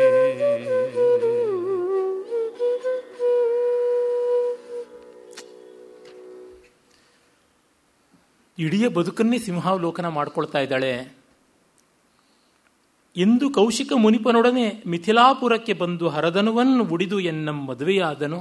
ಯಾವತ್ತೂ ವಿಶ್ವಾಮಿತ್ರನ ಜೊತೆಯಲ್ಲಿ ಬಂದು ನನ್ನ ಊರಿಗೆ ಬಂದು ಆ ವೀರ್ಯ ಶುಲ್ಕವಾದ ಧನುಸ್ಸನ್ನು ಮುರಿದು ಕಟ್ಟ ಕಡೆಗೆ ಕೈ ಹಿಡಿದನಲ್ಲ, ಅಂದಿನಿಂದ ಮೊದಲಾಗಿ ಅಂತ. ಜಾನಕಿ ಜೀವನ ಅನ್ನುವ ಯಕ್ಷಗಾನದಲ್ಲಿ ಈ ಥರ ಒಂದು ಸಂದರ್ಭವನ್ನು ಅಗ್ನಿ ಪರೀಕ್ಷೆಯಲ್ಲಿ ಅವಳು ಎಲ್ಲವನ್ನ ಜ್ಞಾಪಕ ಮಾಡ್ಕೊಳ್ಳೋ ತರಹ ಮಾಡಿದ್ದಾಗಿತ್ತು. ಅಲ್ಲಿ ಒಂದು ಕಂದ ಪದ್ಯ ನಾನು ಬರೆದದ್ದು ಜ್ಞಾಪಕ ಬರುತ್ತೆ. ಅಂದ ಹರದ ಶಿವಧನುವಿನ ನೂಲಂದಂ ನಿಮ್ ಸೆಳೆದಿರೇಂ ಸೆಳೆದಿರೆನ್ನೊಲವಂ ಚಂದದೆ ಕರಬಿಡಿದ ಸ್ಪಂದಂ, ಇಳಿದಿಲ್ಲವಿನ್ನು ಮೈ ಮನದೊಳ್ಳಂತ ಏನೋ ಬರುತ್ತದೆ.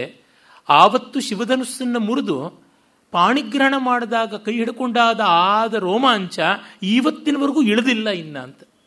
ರೋಮಾಂಚನ ಒಂದು ಸ್ವಲ್ಪ ಕಾಲ ಇದ್ದು ಆಮೇಲೆ ಇಳಿದು ಬಿಡುತ್ತೆ. ಅದನ್ನು ಏರ್ಸೋಕ್ಕೂ ಆಗಲ್ಲ, ಇಳಿಸೋಕ್ಕೂ ಆಗಲ್ಲ. ಅದು ಇನ್ವಾಲೆಂಟ್ರಿ ಅದಕ್ಕೆ ಅದನ್ನು ಸಾತ್ವಿಕ ಭಾವ ಅಂತಂದರು. ಆದರೆ ನನಗೆ ಅದಿನ್ನೂ ಇಳಿದಿಲ್ಲ ಅಂತ, ಆ ಥ್ರಿಲ್ ಇನ್ನೂ ಕಳೆದಿಲ್ಲ ಅಂತ. ಯಾರು ಬದುಕಿನಲ್ಲಿ, ಪ್ರೀತಿಯಲ್ಲಿ ಸ್ವಾರಸ್ಯವನ್ನು ಕಳ್ಕೊಂಡಿಲ್ಲವೋ, ಆ ಥ್ರಿಲ್ ಥ್ರಿಲ್ ಅಂದರೆ ಅಗ್ಗದ ಥ್ರಿಲ್ ಅಂತಲ್ಲ. ಜೀವಾತುಭವಾದಂಥದ್ದು ಸಸ್ಟಿನೆನ್ಸ್ ಆಫ್ ಲೈಫ್ ಅಂತೀವಲ್ಲ, ಅದಂತ ಕಳ್ಕೊಂಡಿಲ್ವೋ ಅವರಿಗೆ ಯೌವನ ಹೋಗೋದಿಲ್ಲ ಅಂತ. ಜೀವನೋಲ್ಲಾಸ ಅಂದರೆ ಅದೇ ಇರ್ತಕ್ಕಂಥದ್ದು. ಸ್ವಾರಸ್ಯ ಇರಬೇಕು. ಅಯ್ಯೋ, ನಾನು ಕೇಳಿಬಿಟ್ಟಿದ್ದೀನಿ ಆ ರಾಗ, ಇನ್ನೇನು ನನಗೆ ಅದರೊಳಗೆ ಸ್ವಾರಸ್ಯ ಕಾಣಿಸ್ತಾ ಇಲ್ಲ. ಈ ಥರ ಹೇಳೋ ಮಹಾನುಭಾವರು ಇದ್ದರೆ ತೇಭ್ಯೋ ಮಹದ್ಭ್ಯೋ ನಮಃ. ಹಾಗಲ್ಲ, ಇನ್ನೇನೋ ಇರುತ್ತದೆ. ಆ ರೀತಿ ಇರಬೇಕು. ಸೂರ್ಯೋದಯ, ಚಂದ್ರೋದಯದ ಸ್ವಾರಸ್ಯವನ್ನು ಕಳ್ಕೊಂಡು ಬಿಟ್ಟರೆ ಗತಿಯೇನು ಮೊನ್ನೆ ಬ್ಲೂ ಮೂನ್ ಅಂತ, ಅಂದರೆ ಕೆಲವೊಮ್ಮೆ ಚಂದ್ರ ಭೂಮಿಗೆ ಹತ್ತಿರವಾಗಿ ಬರುವಂಥದ್ದುಂಟು, ಆಗ ಆಕಾಶದಲ್ಲಿ ದೊಡ್ಡದಾಗಿ ಕಾಣಿಸ್ಕೊಳ್ತಾನೆ. ನನಗೆ ನೋಡೋಕ್ಕಾಗಲಿಲ್ಲ, ಸಂಕಟ ಪಡ್ತಾ ಇದ್ದೆ ಎರಡು ದಿವಸ. ಅಯ್ಯೋ ಚಂದ್ರ, ದೊಡ್ಡದಾಗಿ ಕಾಣಿಸುವಂಥದ್ದು. ಹಲವು ಬಾರಿ ನೋಡಿದ್ದೀನಿ, ಆದರೆ ಮತ್ತೆ ನೋಡಬೇಕು ಅಂತ. ನವೋನವ್ಯವಾದಂಥದ್ದು, ಅದನ್ನು ಕಾಣಲೇಬೇಕು. ಇಲ್ಲದಿದ್ದರೆ ಹೇಗೆ? ಆ ಸ್ವಾರಸ್ಯಗಳನ್ನು ಉಳಿಸ್ಕೊಳ್ಳದಿದ್ದರೆ ಹೇಗೆ? ಹಾಗೆಯೇ ಸ್ನೇಹಿತರಲ್ಲಿ, ಬಂಧು ಮಿತ್ರರಲ್ಲಿ, ಗಂಡ ಹೆಂಡರಲ್ಲಿ ತಾಯಿ ಮಕ್ಕಳಲ್ಲಿ, ತಂದೆ ಮಕ್ಕಳಲ್ಲಿ ಒಂದು ಸ್ವಾರಸ್ಯ ಉಳಿಸಿಕೊಳ್ಳಬೇಕು. ಅದಕ್ಕಾಗಿಯೇ ಬದುಕಿರ್ತಕ್ಕಂಥದ್ದು. ಇನ್ನೇನು ಇಲ್ಲ. ಜಗತ್ತು ಬಂಧಕವಾದದ್ದು ತಾರಕವಾಗೋದು ಯಾವಾಗ ಅಂದರೆ ಆ ಪ್ರೀತಿ ಉಳಿಸ್ಕೊಂಡಾಗ. ಕಹಿಯನ್ನು ಉಳಿಸ್ಕೊಂಡಾಗ ಬಂಧನ. ಸಿಹಿಯನ್ನು ಉಳಿಸ್ಕೊಂಡಾಗ ಅದೇ ವಿಮೋಚಕ ತಾರಕವಾಗುತ್ತದೆ. ಇಲ್ಲಿ ಅವಳು ಅದನ್ನು ಜ್ಞಾಪಿಸ್ಕೋತಾ ಇದ್ದಾಳೆ. ಅಂದು ಮದುವೆ ಆದನಲ್ಲ, ಅವತ್ತಿಂದ ಹಳತೆ ಆಗಿಲ್ಲ ನಮ್ಮ ಪ್ರೀತಿ.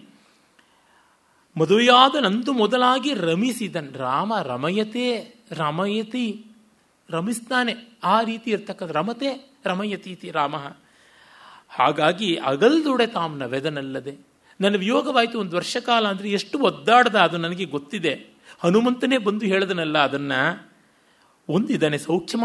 ಆ, ತಗೊಂಡದ್ನ ರಾವಣ ಪೀಡೆ ಕಳೀತು. ಅಂತ ಅಲ್ಲೇ ಕಾಡಲ್ಲೇ ಯಾವುದೋ ಋಷ್ಯಾಶ್ರಮಕ್ಕೆ ಹೋಗ್ಬಿಟ್ಟು ಇರತಕ್ಕಂಥ ಋಷಿಕನ್ನಿಕೆಯನ್ನು ಜೈನ ರಾಮಾಯಣಗಳ ಪ್ರಕಾರ ಬರುತ್ತೆ ಹದಿನಾರು ಜನ ಕೂತಿಗಳನ್ನು, ವಾನರ ಸ್ತ್ರೀಯರನ್ನು ಕೊಟ್ಟು ಸುಗ್ರೀವ ಮದುವೆ ಮಾಡಿದಂತೆ ರಾಮನಿಗೆ. ಯಾವ ಭಾಗ್ಯಕ್ಕೂ ಆ ಥರ ಬರೆಯೋದು ನನಗೆ ಅರ್ಥ ಆಗೋದಿಲ್ಲ. ವಿಮಲ ಸೂರ್ಯ ಪೌಮಚರಿವು ಅಂತ ಪ್ರಾಕೃತ ಕಾವ್ಯ, ಅರ್ಧಮಾಗದಿಯ ಕಾವ್ಯ ಅದರೊಳಗೆ. ಒಂದು ಒಂದು ಪರ್ಟಿನೆನ್ಸ್ ಬೇಡವೆ, ಒಂದು ವಿವೇಕ ಬೇಡವೆ ಅಂತ ನಾನು ಹೇಳೋದು. ಬಾಯಿಗೆ ಬಂದಂಗೆ ಬರೆಯೋಕ್ಕೂ ಒಂದು ಒಂದು ಒಂದು ಸೆನ್ಸ್ ಬೇಕಲ್ವಾ? ಹಾಳಾಗೋದಕ್ಕೆ ಒಂದು ಕ್ರಮ ಇದೆಯಲ್ಲ. ಅದು ಬಿಟ್ಟರೆ ಎಂಥ ಗತಿ ಅಂತ. ಅದಕ್ಕೆ ಅವ್ರನ್ನ ಯಾರೂ ಮೂಸು ನೋಡಲಿಲ್ಲ. ಯಾರಾದರೂ ಏನು ರಸಿಕರಿಗೆ ಇವೆಲ್ಲ ಉದ್ವೇಜಕವಾಗಿ ಕಾಣಿಸುತ್ತದೆ. ಹಾಗಾಗಿ ಅಷ್ಟು ನವೆದನಲ್ಲ ತನಗಾಗಿ ಎನಗಾಗಿ ಕಪಿವೃಂದಮಂ ನೆರಪಿ ಕಡಲಂ ಕಟ್ಟಿ ದೈತ್ಯರಂ ಕೊಂದು ನನಗೋಸ್ಕರ ಎಷ್ಟು ಮಾಡ್ದ. ಮಾಡಿ ಅಗ್ನಿಮುಖದವಳು ಪರೀಕ್ಷಿಸಿದ. ಬೆಂಕಿಯಲ್ಲಿ ನನ್ನ ಹಾಕಿ ನೋಡ್ದ. ಗೋಪಾಲಕೃಷ್ಣ ಅಡಿಗರು ಹೇಳ್ತಾರಲ್ಲ, ಸುಟ್ಟೆನಲ್ಲದೆ ಮುಟ್ಟನೆಂಬ ಉಡಾಫೆ ಅಂತ. ನಾನೆಲ್ಲ ಫೈರ್ ಟೆಸ್ಟ್ ಮಾಡಿಯೇ ನೋಡೋದು. ಅಪ್ಪಟ ಅವ್ವಲ್ ಅಂತ ಡಬಲ್ ಪ್ಯಾರಿಟಿ ಟೆಸ್ಟ್ ಎಲ್ಲ ಮಾಡಿಸ್ಕೊಳ್ತೀವಿ. ಆಗ ಮಾಡಿಯೇ ನೋಡ್ಕೊಳ್ತೀವಿ. ನಾಲ್ಕು ಕಡೆ ಕೇಳಿ ಕನ್ಫರ್ಮ್ ಮಾಡ್ಕೊಳ್ತೀವಿ. ಮೋಸ ಹೋಗೋದಿಲ್ಲ ಅನ್ನುವಂತೆ ಹಾಗೆ ಮಾಡಿಕೊಂಡ ಮೇಲೆ ಅಪರಾಧ ಕಂಡೇನೆ. ಈಗ ನೋಡಿ ಸೀತೆ ಆ ಅಗ್ನಿ ಪರೀಕ್ಷೆಯ ಒಂದು ನೋವನ್ನು ಮರೆತು ಬಿಟ್ಟಿದ್ದಾಳೆ. ಸಾಮಾನ್ಯವಾಗಿ ಯಾವ ಸ್ನೇಹದಲ್ಲಿಯೂ ಆಗಲಿ, ಇದು ಸ್ನೇಹ ಸಾರ್ವತ್ರಿಕಕ್ಕೆ ಅನ್ವಿತವಾಗುವಂಥದ್ದು. ಗಂಡ ಹೆಂಡತಿ ಇರ್ಬೋದು, ತಂದೆ ತಾಯಿಗಳಿರ್ಬೋದು, ತಾಯಿ ಮಕ್ಕಳಿರ್ಬೋದು, ಸ್ನೇಹಿತರೇ ಇರ್ಬೋದು, ಸ್ನೇಹ ವಿಶ್ವಾಸಗಳ ಪರೀಕ್ಷೆ ಒಂದು ತುಯ್ದ ದಾಟಿ ಹೊರಟೋಗ್ಬಿಟ್ರೆ, ಒಂದು ಲಿಮಿಟ್ ದಾಟಿ ಹೊರಟೋಗೋದು. ಮೆಕ್ಯಾನಿಕಲ್ ಇಂಜಿನಿಯರಿಂಗ್ ಪರಿಭಾಷೆಯಲ್ಲಿ ಹೇಳೋದಿದ್ರೆ ಎಲಾಸ್ಟಿಕ್ ಲಿಮಿಟಿಂದ ಪ್ಲಾಸ್ಟಿಕ್ ಲಿಮಿಟ್ ಹೋಗೋದು ಅಂತ. ಎಲಾಸ್ಟಿಕ್ ಲಿಮಿಟ್ ಅಂದರೆ ಅದು ಮತ್ತೆ ವಾಪಸ್ ಅದೇ ಆಕಾರಕ್ಕೆ ಬರುತ್ತೆ. ಆಗಲ್ದೆ ಅದರ ಆಚೆಗೆ ಎಳೆದು ಬಿಟ್ಟರೆ ಅದು ಮತ್ತೆ ವಾಪಸ್ ಬರೋಕ್ಕಾಗದೇ ಇರೋ ಮಟ್ಟಕ್ಕೆ. ಈಗ ಕೆಲವೊಂದು ಪದಾರ್ಥಗಳು ನೀವು ಜಗ್ತೀರ? ಅದು ಮತ್ತೆ ಅಲ್ಲಿಗೆ ಬಂದು ಸೇರ್ಕೊಳ್ಳುತ್ತೆ. ಸೇರ್ಕೊಳ್ಳೋಕ್ಕಾಗದ ಮಟ್ಟಕ್ಕೆ ಎಳೆದ ಮೇಲಿಂದ ಜೊತೆಗಿದ್ದರೂ ಅದು ಕಸಿವಿಸಿಯೇ ಆಗಿರುತ್ತೆ ಜೀವನ್ನಪಿ ನ ಜೀವತಿ. ಇದ್ದರೂ ಇಲ್ಲೋ ಇಲ್ಲೋ, ಇರೋಲ್ಲ ಅನ್ನುವ ಸ್ಥಿತಿ ಇರುತ್ತೆ. ಅಗ್ನಿಪರೀಕ್ಷೆ ಅಂತ ಘಟನೆ ಸೀತಾರಾಮರ ಮಧ್ಯೆ ಅಂತ ವಿರೋಧ ತರಬೇಕಾಗಿತ್ತು. ತರಲಿಲ್ಲ. ಇದರೊಳಗೆ ಯಾರು ದೊಡ್ಡವರು ಅಂತ ಹೇಳೋದು ಕಷ್ಟ. ಪರೀಕ್ಷೆ ಮಾಡಿಸ್ಕೊಂಡು ಸೀತೆ ಕಹಿ ಉಳಿಸ್ಕೊಳ್ಳಿಲ್ಲ ಅನ್ಬೇಕಾ? ಪರೀಕ್ಷೆ ಮಾಡಿದ ರಾಮ ಅದನ್ನು ಮರೆಯುವಂತೆ ಪ್ರೀತಿಸ್ದ ಅನ್ಬೇಕಾ? ಎರಡೂ ಇರಬಹುದು. ತುಂಬ ದೊಡ್ಡ ದಾಂಪತ್ಯ ಅವ್ರದ್ದು, ಮಹನೀಯವಾದಂಥದ್ದು. ಅದಕ್ಕೆ ಅವಳು ಹೇಳ್ತಾ ಇದ್ದಾಳೆ ಇಲ್ಲದೇನು ದುಃಖ ಪಡ್ತಾ ಇರಲಿಲ್ಲ ಅವಳು ಸೀತೆ. ಆವತ್ತೇ ಮಾಡ್ತಾ ಬಿಡು, ಇವತ್ತೇನು ಹೊಸ್ತ ಅವನ ಸಂದೇಹ ಅವನು ಹುಟ್ಟಿಂದ ಬಂದಿರೋದು. ಹಾಯಾಗಿ ಇಲ್ಲೇ ಎಲ್ಲ ಬಡ್ಕೊಂಡಿರ್ತೀನಿ ನಾನು ಅಂತ ಅನ್ಬೋದಾಗಿತ್ತು. ಇಷ್ಟು ನೋವು ಪಡ್ತಿದ್ದಾಳೆ ಅಂದ್ರೇನೆ ಹಳೆ ನೋವು ಮರ್ತಿದ್ದಾಳೆ ಅಂತ ಅರ್ಥ ಅಲ್ವಾ? ಯಾವ ನೋವು, ಹೆರಿಗೆ ನೋವು ತಾಯಿಗೆ ಜ್ಞಾಪಕನೇ ಇದ್ದಲ್ಲಿ ಮತ್ತೊಮ್ಮೆ ಹೆರ್ತಾಳ. ಇರಳು ಕಂಡು ಬಾವಿನಲ್ಲಿ ಹಗಲು ಬೀಳೋದ ಅಂತ. ತಾಯ್ತನ ಮರೆಸುತ್ತೆ. ಆ ತರಹ ಪ್ರೀತಿ ಕಹಿಗಳನ್ನು, ನೋವುಗಳನ್ನು, ಅವಮಾನಗಳನ್ನು ಉಪೇಕ್ಷೆ ಮಾಡಿಸ್ಬಿಡುತ್ತೆ. ಅದೆಲ್ಲ ಆಗಿದೆ. ಈಗ ಮತ್ತೆ ಯಾಕೆ ಸಂದೇಹ ಪಟ್ಟಿದ್ದು ಅಂತ? ಈ ಪ್ರಶ್ನೆಗೆ ಯಾರು ಉತ್ತರ ಕೊಡ್ತಾರೆ? ಆದಿ ಕವಿಗೂ ಉತ್ತರ ಕೊಡೋಕ್ಕಾಗೋಲ್ಲ. ಉತ್ತರ ಕೊಡೋಕ್ಕಾಗೋಲ್ಲ ಅಂತ ಬರೆದ್ರಲ್ಲ ಮಹರ್ಷಿ ವಾಲ್ಮೀಕಿಗಳು, ಅವ್ರು ದೊಡ್ಡವರು.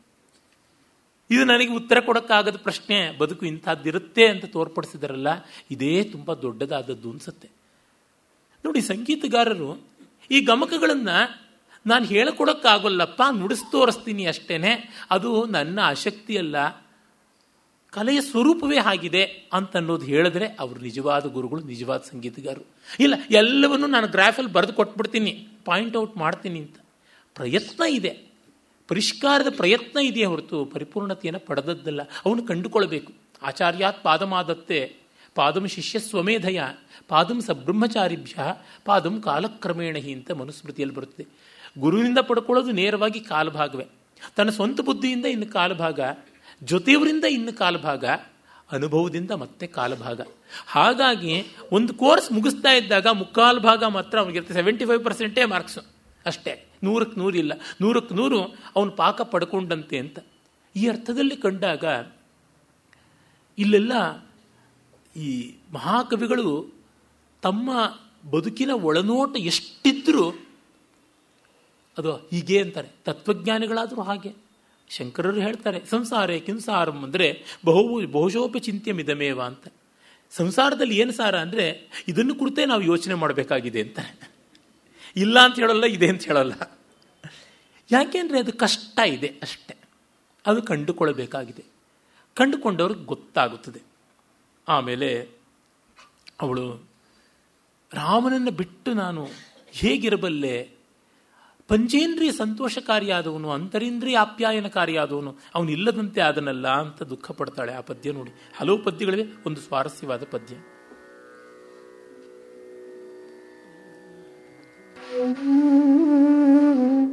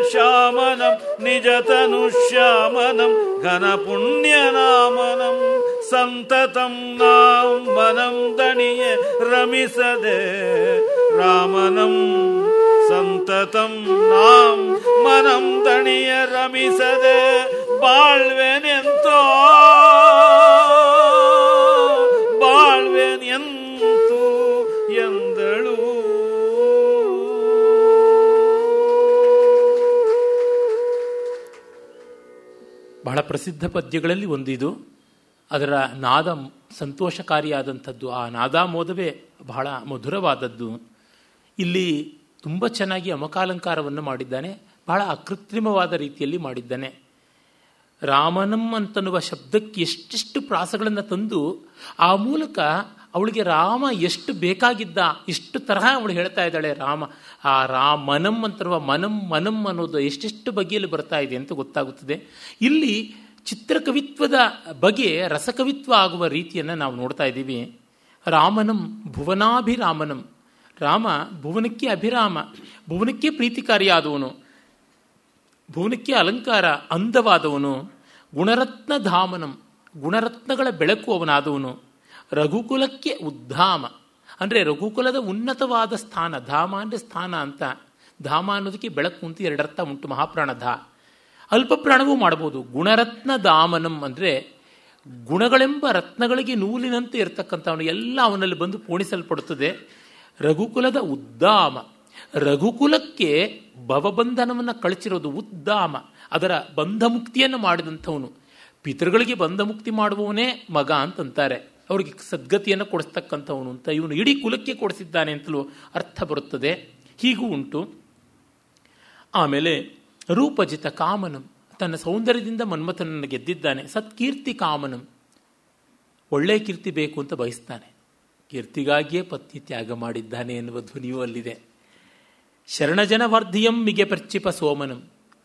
ಸಜ್ಜನರೆಂಬ ಸಮುದ್ರವನ್ನು ಉಕ್ಕೇರಿಸಬಲ್ಲ ಸೋಮ ಚಂದ್ರ, ಸೌಭಾಗ್ಯ ಸೋಮ. ಸೌಭಾಗ್ಯಕ್ಕೆ ಮಂಗಳಪ್ರದನಾದ ಶಿವನಂತೆ ಉಮಯಾ ಸಹಿತ ಸೋಮ. ಸೌಭಾಗ್ಯಕ್ಕೆ ಸಂಪತ್ತಿಗೆ ಆಕರನಾದವನು ಈಶ್ವರಸ್ಯ ಭಾವ ಐಶ್ವರ್ಯಂ ಅಂತ ಇರತಕ್ಕಂಥವನು. ಕುವಲಯ ಶ್ಯಾಮ. ಕನ್ನೈದಿಲೆಯ ಹಾಗೆ ಅವನು ನಸುಗಪ್ಪು ಬಣ್ಣದವನು. ನಿಜ ತನುಶ್ಯಾಮನಂ ಮತ್ತೆ ದೇಹ ರಸಮಯವಾದದ್ದು ಶ್ಯಾಮ ಅನ್ನೋದಕ್ಕೆ ರಸತ್ವ ಅಂತ ಒಂದು ಅರ್ಥ ಉಂಟು. ರಸರಸವಾದ ರೂಪ ಅವನದು ಅಂತ. ಹಾಗೆ ಘನಪುಣ್ಯ ನಾಮನಂ ಅವನ ಹೆಸರೇ ಪುಣ್ಯಕಾರಿಯಾದದ್ದು. ತುಂಬ ಮಂಗಳಮಯವಾದ ನಾಮಧೇಯ ಅವನದು. ರಾಮನ ಹೆಸರು ಎಂಥ ದೊಡ್ಡದು ಅಂತ ವೆಂಕಟಾಧ್ವರಿ ಕಲ್ಯಾಣೋಲ್ಲಾಸ ಸೀಮಾ ಅಂತ ಆರಂಭ ಮಾಡಿ ಕಲಯತು ಸ ಕಲಯತು ಮಂಗಲಂ, ರಾಮನಾಮ ಅಂತ, ರಾಮನಾಮ ಅಷ್ಟು ಮಂಗಳವನ್ನು ಉಂಟು ಮಾಡಲಿ ಅಂತ ಎಷ್ಟು ಜನ ರಾಮಕೋಟಿ ಬರೆದಿದ್ದಾರೆ, ಎಷ್ಟು ಮಾಡಿದ್ದಾರೆ. ನಮ್ಮಲ್ಲಿ ಚಿಕ್ಕದಾದ ಹೆಸರು ಅಂತ ಅಂದರೆ ರಾಮ ಅಂತಲೇ. ರಾಮಕೋಟಿ ರಾಮರಾಮ ಅಂತ ಬರೆದು ಬಿಡ್ತಾರೆ. ಆದರೆ ಶಿವಶಿವ ಅಂತ ಬರೆಯೋಲ್ಲ ಕೃಷ್ಣ ಕೃಷ್ಣ ಅಂತ ಬರೆಯೋಲ್ಲ ಎಲ್ಲರೂ ದೇವತೆಗಳೇ. ನಮಃ ಶಿವಾಯ, ಓಂ ನಮಃ ಶಿವಾಯ ಅಂತ ಓಂ ನಮೋ ನಾರಾಯಣಾಯ ಅಂತ ದ್ವಾದಶಾಕ್ಷರಿ ವಾಸುದೇವ ಶರಣಂ ಮಮ ಈ ಥರದ್ದೆಲ್ಲ ಉಂಟು. ಆದರೆ ರಾಮ ಅಂತ ಅಷ್ಟನ್ನು ಮಾತ್ರ. ತಾರಕ ಮಂತ್ರ ಅಂತ ರಾಮ ಅಂತಲೇ ಹೇಳ್ತಾರೆ. ಹೀಗೆ ಆ ರಾಮನಾಮ ಪರಮ ಪವಿತ್ರಕಾರಿಯಾದದ್ದು ನಾಮನಂ ದಣಿಯೆ, ಆ ನಾಮ ನಾಮನಂ ದಣಿಯೆ. ರಮಿಸದೆ ಬಾಳ್ವೆನ್ ಎಂತೆಂದಳು. ಅದಿಲ್ಲದೆ ರಮುಧಾತು ರಾಮನಿಂದ ಬಂದಿದೆ. ರಮಿಸುವುದು ಎಲ್ಲಿ ರಾಮ ಇಲ್ಲದೆ ಇದ್ದರೆ ಅಂತ ಕೇಳ್ತಾ ಇದ್ದಾಳೆ. ನಾನು ಹೇಗಿರಲಿ ಅವನಿಲ್ಲದೆ? ಇಲ್ಲಿ ನೋಡಿ, ಮೊದಲಿನಲ್ಲಿ ಅವನ ಅಭಿರಾಮತೆ, ಒಪ್ಪ ಓರಣ ಸಮಗ್ರ ಸೌಂದರ್ಯ, ಮತ್ತು ಅವನ ಗುಣೋನ್ನತಿ, ಮತ್ತು ಅವನ ಕುಲೋನ್ನತಿ, ಅವನ ರೂಪೋನ್ನತಿ, ಕೀರ್ತ್ಯುನ್ನತಿ, ಶರಣಾ ರಕ್ಷಕ, ಆಶ್ರಿತ ರಕ್ಷಕತ್ವ, ಮತ್ತು ಅವನ ಸೌಭಾಗ್ಯ ಅವನಿದ್ದಲ್ಲಿ ಕಾರ್ಪಣ್ಯವಿಲ್ಲ ಅಂತಕ್ಕಂಥದ್ದು. ಮತ್ತೆ ಅವನು ಹೇಗಿದ್ದರೂ ಚೆನ್ನ, ಅವನು ಕಪ್ಪಿಗಿದ್ದರೂ ಚೆನ್ನ, ಹೇಗಿದ್ದರೂ ಚೆನ್ನ ಅನ್ನುವ ರೀತಿ ಸೀತೆ ಒಳ್ಳೆ ಬೆಳಪಿನ ಬಣ್ಣದವಳು. ರಾಮನ ಇಷ್ಟಪಟ್ಟೆ ಒಪ್ಕೊಂಡಿದ್ದವಳು. ಬ್ಲ್ಯಾಕ್ ಈಸ್ ಬ್ಯೂಟಿ ಅಂತಂದವಳು. ಈ ರೀತಿಯಲ್ಲೂ ಕೂಡ ಕಾಣಿಸುತ್ತದೆ ಪದ್ಯದ ಸ್ವಾರಸ್ಯ. ಒಂದು ತೆಲುಗಿನ ಒಂದು ಪದ್ಯ ಉಂಟು. ಪ್ರಾಯಶಃ ಅದು ಪ್ರಬಂಧ ಕವಿಗಳಲ್ಲಿ ರಾಮರಾಜಭೂಷಣದ್ದು ಇರಬೇಕು. ಪದ್ಯ ತಾತ್ಪರ್ಯ ಹೀಗಿದೆ. ಅಥವಾ ಕೃಷ್ಣದೇವರಾಯನದ್ದೇನ? ಸೀತೆ ತನ್ನ ಬೊಗಸೆಯಲ್ಲಿ ಅವಳು ಮುತ್ತುಗಳನ್ನು ಹಿಡಿದಿದ್ದಾಳೆ. ರಾಮನು ಮುತ್ತುಗಳನ್ನು ಹಿಡಿದಿದ್ದಾನೆ. ಅಲ್ಲಿ ಏನಾಗಿದೆ ಅಂತಂದರೆ ಮದುವೆಯಲ್ಲಿ ಸೇಸೆ ಅಕ್ಕಿ ತಳೆಯೋದು ಅಂತ ಉಂಟಲ್ಲ, ಅವ್ರ ಮೇಲೆ ಇವರು, ಇವ್ರ ಮೇಲೆ ಅವರು ಅಕ್ಕಿಯನ್ನೆಲ್ಲ ಸುರ್ಕೊಳ್ತಕ್ಕಂಥದ್ದು ಒಂದು ಸೊಗಸಾದ ಮಾಂಗಲಿಕ ವಿನೋದ. ಆಗ ಅವಳು ಕೈಯಲ್ಲಿ ಆ ಬೊಗಸೆಯನ್ನು ಹಿಡ್ಕೊಂಡಾಗ ತನ್ನ ಕೆಂಪಾದ ಕೈಗಳ ಕಾರಣ ಅದು ಕೆಂಪಿಗೆ ಕಾಣಿಸ್ತಾ ಇದೆ. ರಾಮನ ತಲೆ ಮೇಲೆ ಅರ್ಪಣೆ ಮಾಡಿದಾಗ ಅವನ ಮುಂಗುರುಳಿನ ಬಣ್ಣದಿಂದ ಕಪ್ಪಾಗಿ ಕಾಣಿಸಿ, ಅದೇನು ಕರಿಮಣಿಗಳ ಅಂತ ಆಗಿ ಮತ್ತೆ ಅವನ ನೀಲ ತನುವಿನ ಮೇಲೆ ಬಂದು ನೀಲಮಣಿಗಳ ಅಂತ ಆಗಿ ಮತ್ತೆ ಅವು ಕೆಳಕ್ಕೆ ಬಂದು, ನಾನು ಯಾವುದನ್ನು ಹಿಡ್ಕೊಂಡೆ ಅಂತ ಅವಳಿಗೆ ಗೊತ್ತಾಗುತ್ತೆ ಕನ್ಫ್ಯೂಸ್ ಆಯಿತು. ರಾಮ ನಕ್ಕು, ಅದು ಮುತ್ತೆ ನಮ್ಮ ನಮ್ಮ ಮೈಬಣ್ಣದಿಂದ ಹಾಗಾಗ್ತಾ ಇದೆ ಅಂತ ಅವಳನ್ನು ಸಂತೈಸಿದ ಅಂತ ಒಂದು ಚಮತ್ಕಾರ ಉಂಟು. ಇಷ್ಟೆಲ್ಲ ಬಗೆಯಲ್ಲಿ ಅವಳು ಒಲೆದವಳು ರಾಮನನ್ನು. ಭ್ರಮೆಯಲ್ಲೂ ಸಂತೋಷಪಟ್ಟವಳು. ಈಗ ರಾಮ ಇಲ್ಲದೆ ಹೇಗಿರ್ತಾಳೆ? ಆಮೇಲೆ ಅವಳು ಅಂದ್ಕೋತಾಳೆ ಹೌದು, ಇದು ನನ್ನ ಬದುಕಾಯಿತು. ನೀನಿಲ್ಲಿದ್ದೇನು ಮಾಡ್ತೀಯಪ್ಪ ಅಂತ. ಸತ್ತೋಗಿದ್ದಾನೆ ವ್ಯಕ್ತಿ, ಶವವನ್ನು ಸಾಗಿಸಲೇಬೇಕಾಗಿದೆ. ಆ ಸ್ಥಿತಿಯಲ್ಲಿ ಇನ್ನು ಹೋಗ್ಬಿಡು, ಪರವಾಗಿಲ್ಲ ಅಂತ ಒಂದು ರೀತಿಯಾದ ಪ್ರಪಂಚದ ಬಗ್ಗೆನೇ ಝಾಸೆ ನಿರ್ಘೃಣತೆ ಬಂದುಬಿಡುತ್ತದೆ. ನೋವಿನ ತೀವ್ರತೆ ಮನಸ್ಸನ್ನು ಮರಗಟ್ಟಿಸಿ ಬಿಡುತ್ತದೆ ಇನ್ನು ಹೆಚ್ಚು ನೋವು ತಗೊಳಕ್ಕಾಗೋಲ್ಲ ಅಂದರೆ ಅದಕ್ಕೊಂದು ಜಾಡ್ಯ ಬಂದುಬಿಡುತ್ತಲ್ಲ? ಆಗ ಅವಳು ಹೇಳುವ ಮಾತು ನೋಡಿ.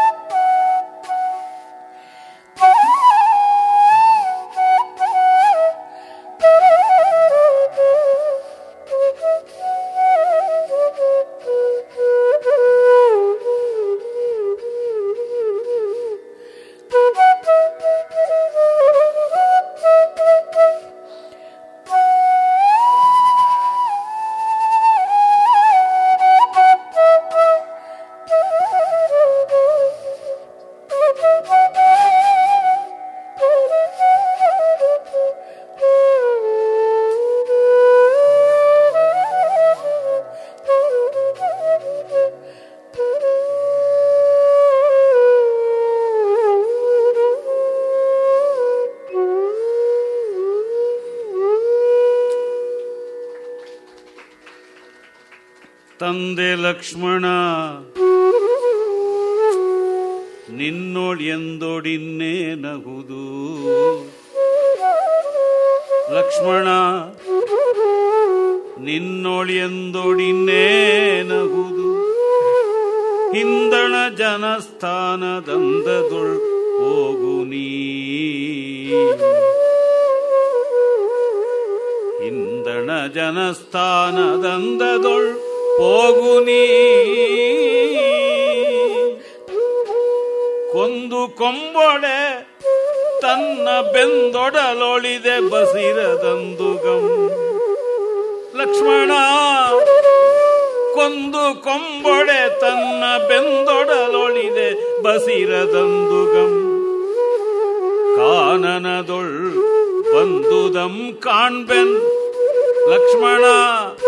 ಕಾನನದೊಳ್ ಬಂದುದಂ ಕಾಣ್ಬೆನಾನಿಂದು ಕೌಸಲೆಯಡಿಗೆ ವಂದಿಸಿದೆನು.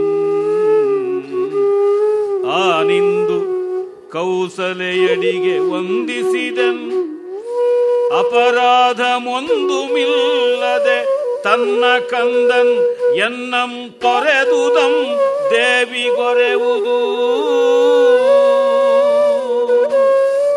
ಲಕ್ಷ್ಮಣ. ಅಪರಾಧ ಒಂದು ಮಿಲ್ಲದೆ ತನ್ನ ಕಂದನ್ ಎನ್ನಂ ತೊರೆದುದಂ ಬಿಗೊರೆವುದು ಗೊರೆವುದು ಎನ್ನುತ್ತ ಅಂದು ಅಳಲ್ದಲ್ ಮೃಗಾಕ್ಷಿ. ಅಂದಳಲ್ ಮೃಗಾಕ್ಷಿ.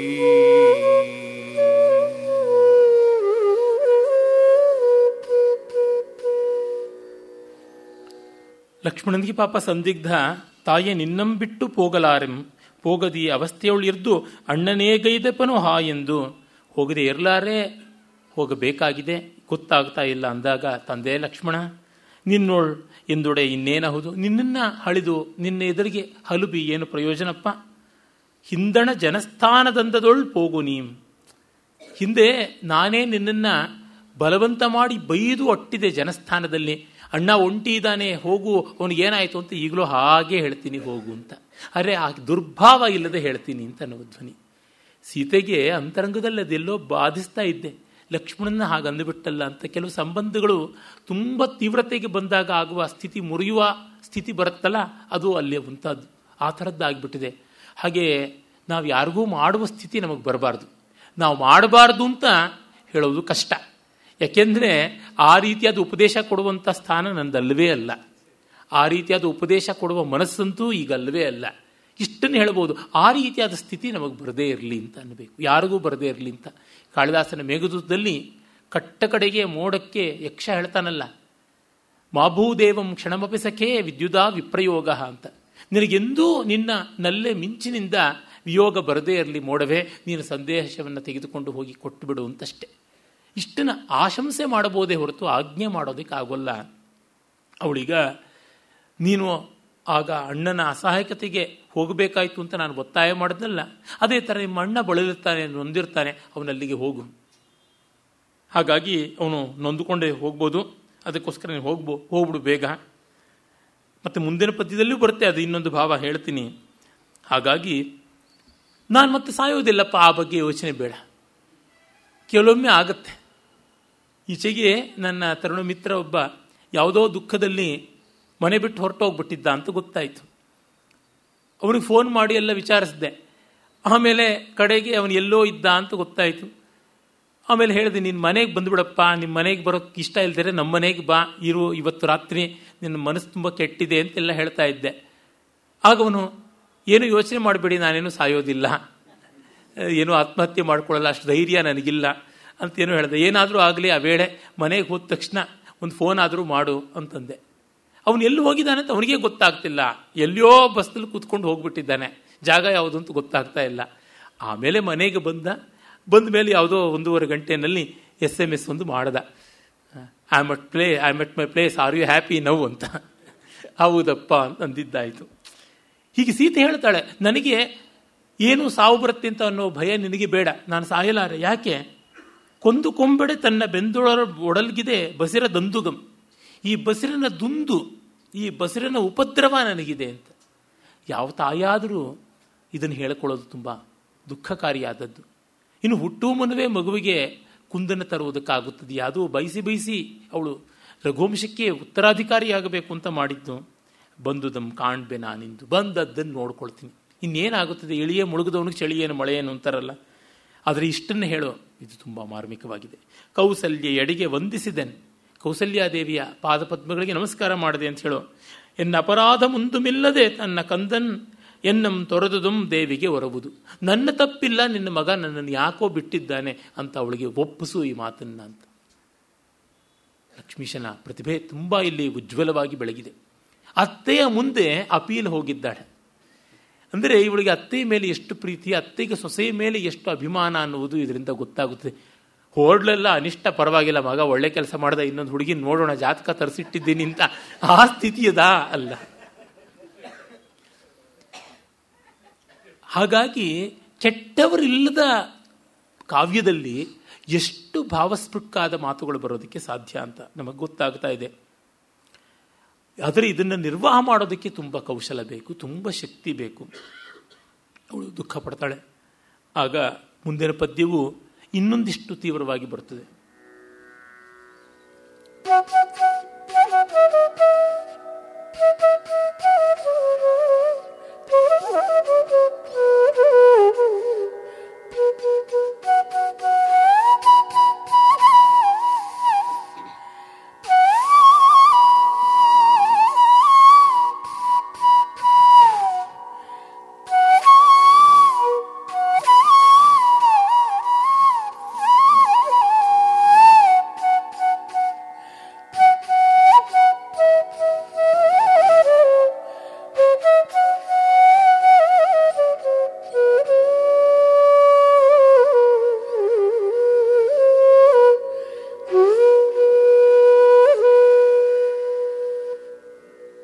ಏಕೆ ನಿಂದಿಪೆ ಸೌಮಿತ್ರಿ?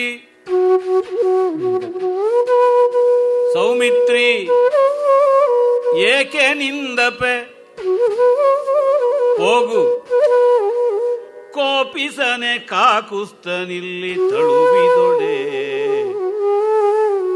ಏಕೆ ನಿಂದಪೆ?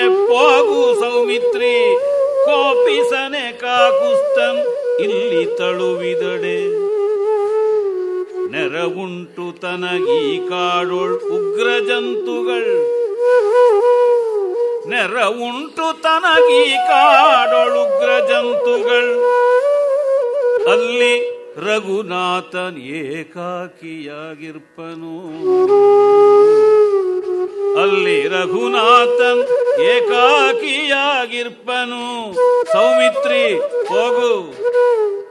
ಲೋಕದರ ಸೇಗೈದೊಡಂ ತನ್ನ ಕಿಂಕರ ಬೇಕು ಬೇಡೆಂದು ಪೇಳರೆ.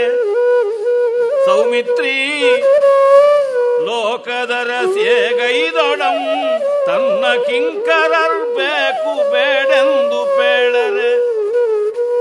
ಭರತ ಶತ್ರುಘ್ನರೀ ಕೆಲಸ ಕೊಪ್ಪಿದರೆ. ಭರತ ಶತ್ರುಘ್ನರೀ ಕೆಲಸ ಕೊಪ್ಪಿದರೆ ಹನುಮಂತ ನಿರ್ದಪನೆ. ಸೌಮಿತ್ರಿ ಹನುಮಂತ ನಿರ್ದಪನೆ ಬೇಳ್ ಎಂದು ಅಳಲ್ದಳಬಲೆ ಸೌಮಿತ್ರಿ ಪೇಳೆಂದು ಅಳಲ್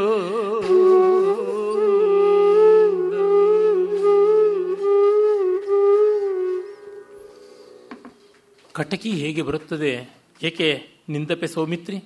ಯಾಕೆಲ್ಲಿದೆಯಾ ಸೌಮಿತ್ರಿ? ಕೋಪಿಸನೆ ಕಾಕುಸ್ತನಲ್ಲಿ? ಕಾಕುಸ್ತ ಅಂದರೆ ರಾಮ, ಕುಕ್ಕುತ್ತ ವಂಶದವನು. ಅವನು ಕೋಪ ಮಾಡ್ಕೊಳ್ಳೋದಿಲ್ವಾ? ನೀನು ಬೇಗ ಬರಬೇಕು ಅಂತ ಹೇಳಿಲ್ವಾ? ಇಲ್ಲಿ ಇರಬೇಡ ತಳುಬಿದೋಡೆ. ನೀನು ಇಲ್ಲಿ ವಿಳಂಬ ಮಾಡಿದರೆ ಅವನಿಗೆ ಕೋಪ ಬರುತ್ತದೆ.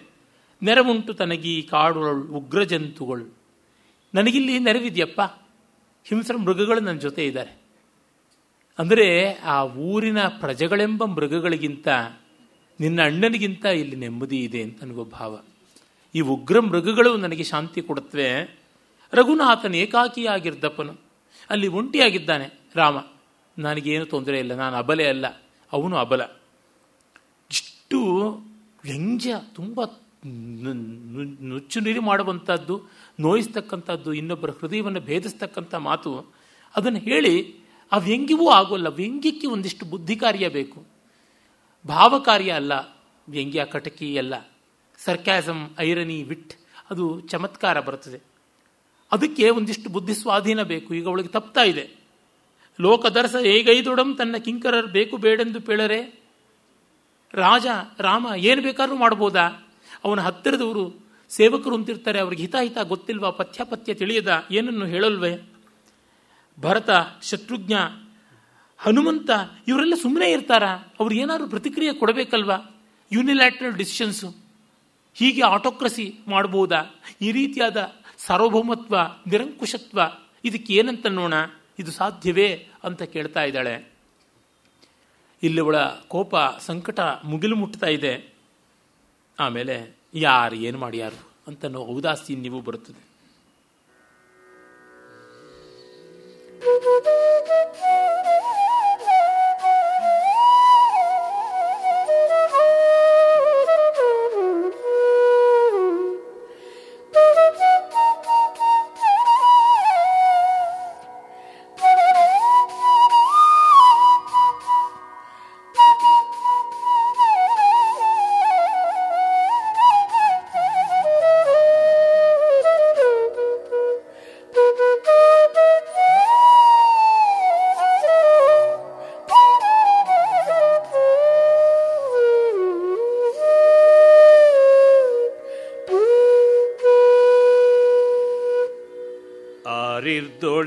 गईवर ಆರಿರ್ದೊಡೆ ಗೈವರ್ ಇದು ತನ್ನ ಮರುಳಾಟಂ ಆ ರಾವಣನ ತಮ್ಮನೈಸಲೆ ವಿಭೀಷಣಂ ಬೀರುಗಳ ನರಿದಪನೆ ಸೋದರಂಗುರೆ ಮುಳಿದ ಸುಗ್ರೀವನೆಂಬವಂಗೆ ಕಾರುಣ್ಯ ಮಿರ್ದಪುದೆ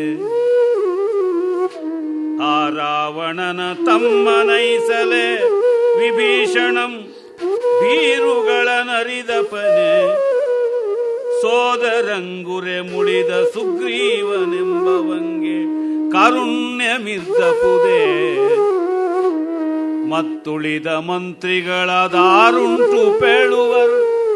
ಸೌಮಿತ್ರಿ, ಮತ್ತುಳಿದ ಮಂತ್ರಿಗಳದಾರುಂಟು ಪೇಳುವರು. ಸೌಮಿತ್ರಿ, ನೀನು ಒಪ್ಪಿ ಗೋರಾಟವಿಗೆ ಕೊಂಡು ಬಂದೆ. ಸೌಮಿತ್ರಿ, ನೀನು ಒಪ್ಪಿ ಹೋರಾಟವಿಗೆ ಕೊಂಡು ಬಂದೆ. ಕಳುಪು ಒಡೆ ಇನ್ನೊರಲ್ದೊಡೆ ಏನಹುದು? ನೀಂ ಹೋರಾಟವಿಗೆ ಕೊಂಡು ಬಂದೆ. ಕಳುಪು ಒಡೆ ಇನ್ನು ಒರಲ್ದೊಡೆ ಏನಹುದು?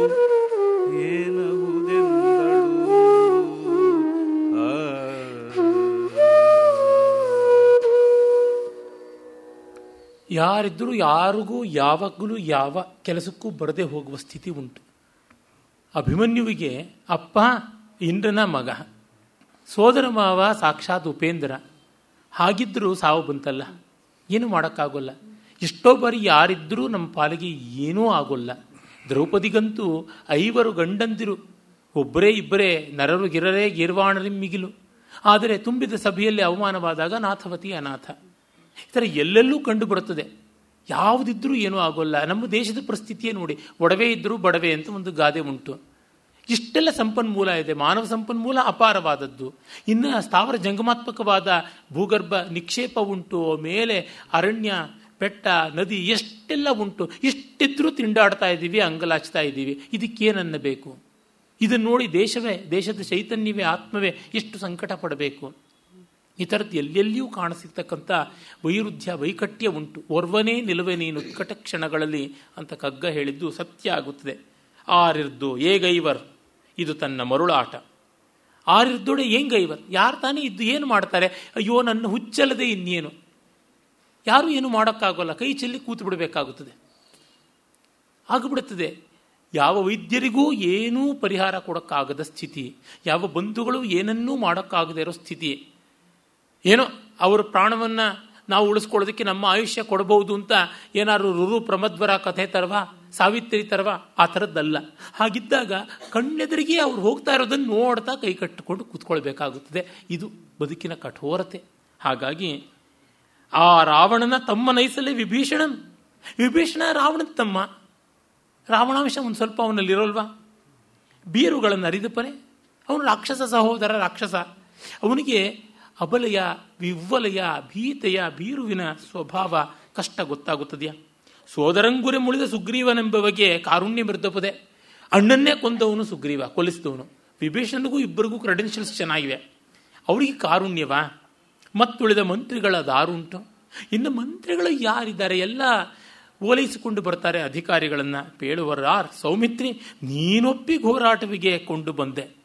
ಇನ್ನೇನಯ್ಯ, ನೀನೇ ಒಪ್ಪಿಕೊಂಡು ಕರೆದು ಬಂದ ಮೇಲೆ ಹರಕೊಲ್ಲಲ್ಲಿ ಪರಕಾಯುವನೇ? ಇಲ್ಲ. ಹಾಗಾಗಿ ಇನ್ಯಾರು ಏನು ಮಾಡ್ತಾರೆ? ಹೋಗ್ಬಾ ಪಾಪ ಲಕ್ಷ್ಮಣನಿಗೆ ಎಲ್ಲಿಯ ಅವಸ್ಥೆ ಇದು? ಏನು ಮಾಡೋಕ್ಕೆ ಸಾಧ್ಯ? ಉತ್ತರ ಕೊಡೋಕ್ಕಾಗಲ್ಲ. ಆಕ್ಷೇಪದ ಮೇಲೆ ಆಕ್ಷೇಪ, ತಿವಿತದ ಮೇಲೆ ತಿವಿತ, ಎಲ್ಲ ನ್ಯಾಯವಾದದ್ದು. ಅರೆ, ಆ ಅನ್ಯಾಯದಲ್ಲಿ ತನ್ನದೇನೂ ಪಾತ್ರವಿಲ್ಲ. ಇಬ್ಬರು ಆತ್ಮೀಯರ ನಡುವೆ ವೈಮನಸ್ಯ ಬಂದಾಗ ಅವರಿಬ್ಬರಿಗೂ ಆತ್ಮೀಯರಾದ ಮೂವರಿಗೆ ಮೂರನೇವರಿಗೆ ಎಲ್ಲಿಲ್ಲದ ಸಮಸ್ಯೆ ಬರುತ್ತದೆ, ಎಲ್ಲಿಲ್ಲದ ಸಂಕಟ ಬರುತ್ತದೆ. ಇದನ್ನೆಲ್ಲ ನಮ್ಮ ಬದುಕಿನಲ್ಲಿ ಕಂಡಿರ್ತೀವಿ ಅದರಿಂದಲೇ ರಾಮಾಯಣ ಮಹಾಭಾರತಗಳು ಹಾಳಾಗೋಲ್ಲ, ಹಳಸೋಗೋಲ್ಲ. ಅದನ್ನ ಫ್ರಿಜ್ ರೆಫ್ರಿಜರೇಟರ್ಲಿ ಇಟ್ಟರೆ ಹಳಸೋಲ್ಲ ಅಂತಾರೆ, ಆದರೆ ತಣ್ಣಗಾಗುತ್ತೆ. ಒಲೆ ಮೇಲಿಟ್ಟರೆ ಹಳಸೋಲ್ಲ ಅಂತಾರೆ, ಆದರೆ ಸೀದು ಹೋಗುತ್ತೆ. ಆದರೆ ನಮ್ಮ ಅಂತರಂಗ ಸಂವೇದನೆಯಲ್ಲಿ ಇರುವ ಈ ಭಾವಗಳಿಗೆ ತಳ ಹತ್ತೋದೂ ಇಲ್ಲ, ಅವು ಫ್ರಿಜ್ಜಲ್ಲಿಟ್ಟಂತೆ ಫ್ರೋಝನ್ ಸ್ಟೇಟ್ ಅಂತೀವಲ್ಲ, ನಿರ್ಜೀವತೆಯ ಮತ್ತೊಂದು ಸ್ಥಿತಿ. ಅದನ್ನು ತಲುಪಲ್ಲ ಭಾವಗಳಿಗೆ ಹಾಗುಂಟು. ರಾಮಾಯಣ ಮಹಾಭಾರತಗಳಿಗೆ ಆ ಸ್ಥಿತಿ ಇದೆ. ಈ ಎಡಚರು, ಲೆಫ್ಟಿಸ್ಟ್ಗಳು ಮತ್ತೆ ಮತ್ತೆ ಇವುಗಳ ಮೇಲೆ ಗೂಬೆ ಕುಡಿಸೋದಕ್ಕೆ ಕಾರಣ ಇಷ್ಟೇ. ನಮ್ಮ ಸಂಸ್ಕೃತಿಯನ್ನ, ನಮ್ಮ ಭಾವವನ್ನು, ನಮ್ಮ ಬದುಕನ್ನು ಇಷ್ಟು ಗಟ್ಟಿಯಾಗಿ ಹಿಡಿದಿದ್ವಿಯಲ್ಲ ಇದನ್ನು ಗೂಬೆ ಕೂಡಿಸೋಣ, ಇದನ್ನು ಕೊಂದು ಬಿಡೋಣ, ಇದನ್ನು ನಾಶ ಮಾಡೋಣ ಅಂತ. ಈ ಅರ್ಥದಲ್ಲಿ left at any rate at any cost has to be questioned and it has to be dismissed ಈ ಕಾರಣಕ್ಕೆ ಅವರಿಗೆ ಮನಸಾರೆ ಇದನ್ನು ಒಪ್ಕೊಂಡೇ ಇಲ್ಲ. ಬೈಯೋಕ್ಕಿದನ್ನು ತಗೋತಾರೆ ಅನುಭವಿಸೋಕ್ಕಿದನ್ನು ತಗೊಂಡೇ ಇಲ್ಲ. ಅದೇ ನಮ್ಮಲ್ಲಿ ಎಷ್ಟೇ ಅಜ್ಞಾನಿಗಳಾದರೂ, ಎಷ್ಟೇ ಮತಾಂಧರ ಆದರೂ ಇದರ ರಸಸತ್ವ ನಮ್ಮನ್ನು ಕರಗಿಸಿಬಿಡುತ್ತೆ. ರಾಮಾಯಣವನ್ನು ಓದಿ ಕಣ್ಣೀರು ಲೆಫ್ಟಿಸ್ಟ್ ಒಬ್ಬನೂ ನಾನು ನೋಡಿಲ್ಲ.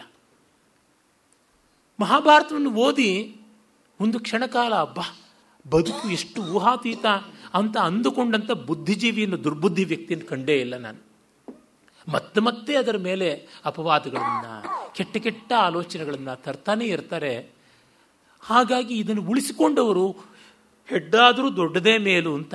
ನಮ್ಮ ಮಠಗಳು, ಮಡಿವಂತಿಕೆಯವು ಅಂತ ಎಷ್ಟೇ ನಮಗೆ ಬೇಸರ ಇದ್ದರೂ ರಾಮಾಯಣವನ್ನು ನಮಗೆ ಕಾಪಾಡಿದ್ದಾರೆ, ಅದಕ್ಕಾಗಿ ಅವ್ರನ್ನ ಗೌರವಿಸಬೇಕಾಗುತ್ತದೆ. ಆ ಕಾರಣದಿಂದ ರೈಟ್ ಅನ್ನೋದು ಯಾತಕ್ಕೆ ರೈಟ್ ಅನ್ನಬೇಕು ಅಂದರೆ ಈ ಕಾರಣಕ್ಕೇನೆ. ಅಲ್ಲಿ ಒಂದಷ್ಟು ಲೋಪ ಇದೆ, ಇಲ್ಲಿ ಒಂದಷ್ಟು ದೋಷ ಇದೆ. ಆದರೆ ಈ ಲೋಪ ಒಂದಿಷ್ಟು ಉಳಿಸಿಕೊಂಡಿದೆ. ಆದರೆ ಈ ದೋಷ ಇದೆಯಲ್ಲ, ಅದು ದುಷ್ಟತೆಯನ್ನೇ ಹಬ್ಬಿಸಿದೆ ಅನ್ನೋ ಕಾರಣಕ್ಕಾಗಿ ನಾನು ತುಂಬ ಬಾರಿ ಲೆಫ್ಟ್ ವಿಂಗನ್ನು ಕಮ್ಯುನಿಸಮ್ನ ಬೈತಾ ಇರ್ತೀನಿ. ಹಿಂದೆ ಇದ್ದರೆ ನನಗೆ ಏನು ಅಪಕಾರ ಮಾಡಿದ್ದಾರೆ? ಏನು ಮಾಡೋದಕ್ಕೆ ಸಾಧ್ಯ ಇದೆ? ನಾನು ಯಾವೂರು ತಪ್ಪಲು ಅಂತ ನನ್ನನ್ನು ಟಾರ್ಗೆಟ್ ಮಾಡೋದಕ್ಕೆ ಏನಿದೆ ಅವರಲ್ಲಿ? ಎಂಥದ್ದು ಇಲ್ಲ. ನಾನು ಆಮೇಲೆ ನೋ ಎಂಟಿಟಿ ಫಾರ್ ದೆಮ್ ಆದರೆ ದುಃಖವಾಗೋದಿದೆ, ಇದು ಕೂಡ ಅವರ ಅಂತರಂಗವನ್ನು ಕರಗಿಸೋಲ್ಲ ಅಂದರೆ ಇನ್ನು ಎಂಥದ್ದು ಅಂತ. ಇನ್ನೆಷ್ಟು ಹೆಬ್ಬಂಡೆ ಆಗಿರಬೇಕು. ಬಂಡೆಗೆ ಅವಮಾನ ಆದೀತು. ಶಾಂತಂ ಪಾಪಂ. ಆಗ ಅವಳು ಹೇಳ್ತಾಳೆ, ನೀನು ಒಪ್ಪಿ ಘೋರಾಟವಿಗೆ ಕೊಂಡು ಬಂದೆ, ಕಳುಪೊಡೆ, ಇನ್ನು ಹೊರಲ್ದೊಡೆ ಏನಹುದು? ಇನ್ನೆಷ್ಟು ಓಡಾಡೋದು? ಇನ್ನೆಷ್ಟು ಅರಣ್ಯ ರೋದನ ಅಂತ ಕಟ್ಟ ಕಡೆಯ ತೀರ್ಮಾನ ಹೇಳಿಬಿಡ್ತಾಳೆ ನೋಡಿ. ಭಯಂಕರ ಪದ್ಯ ಇದು.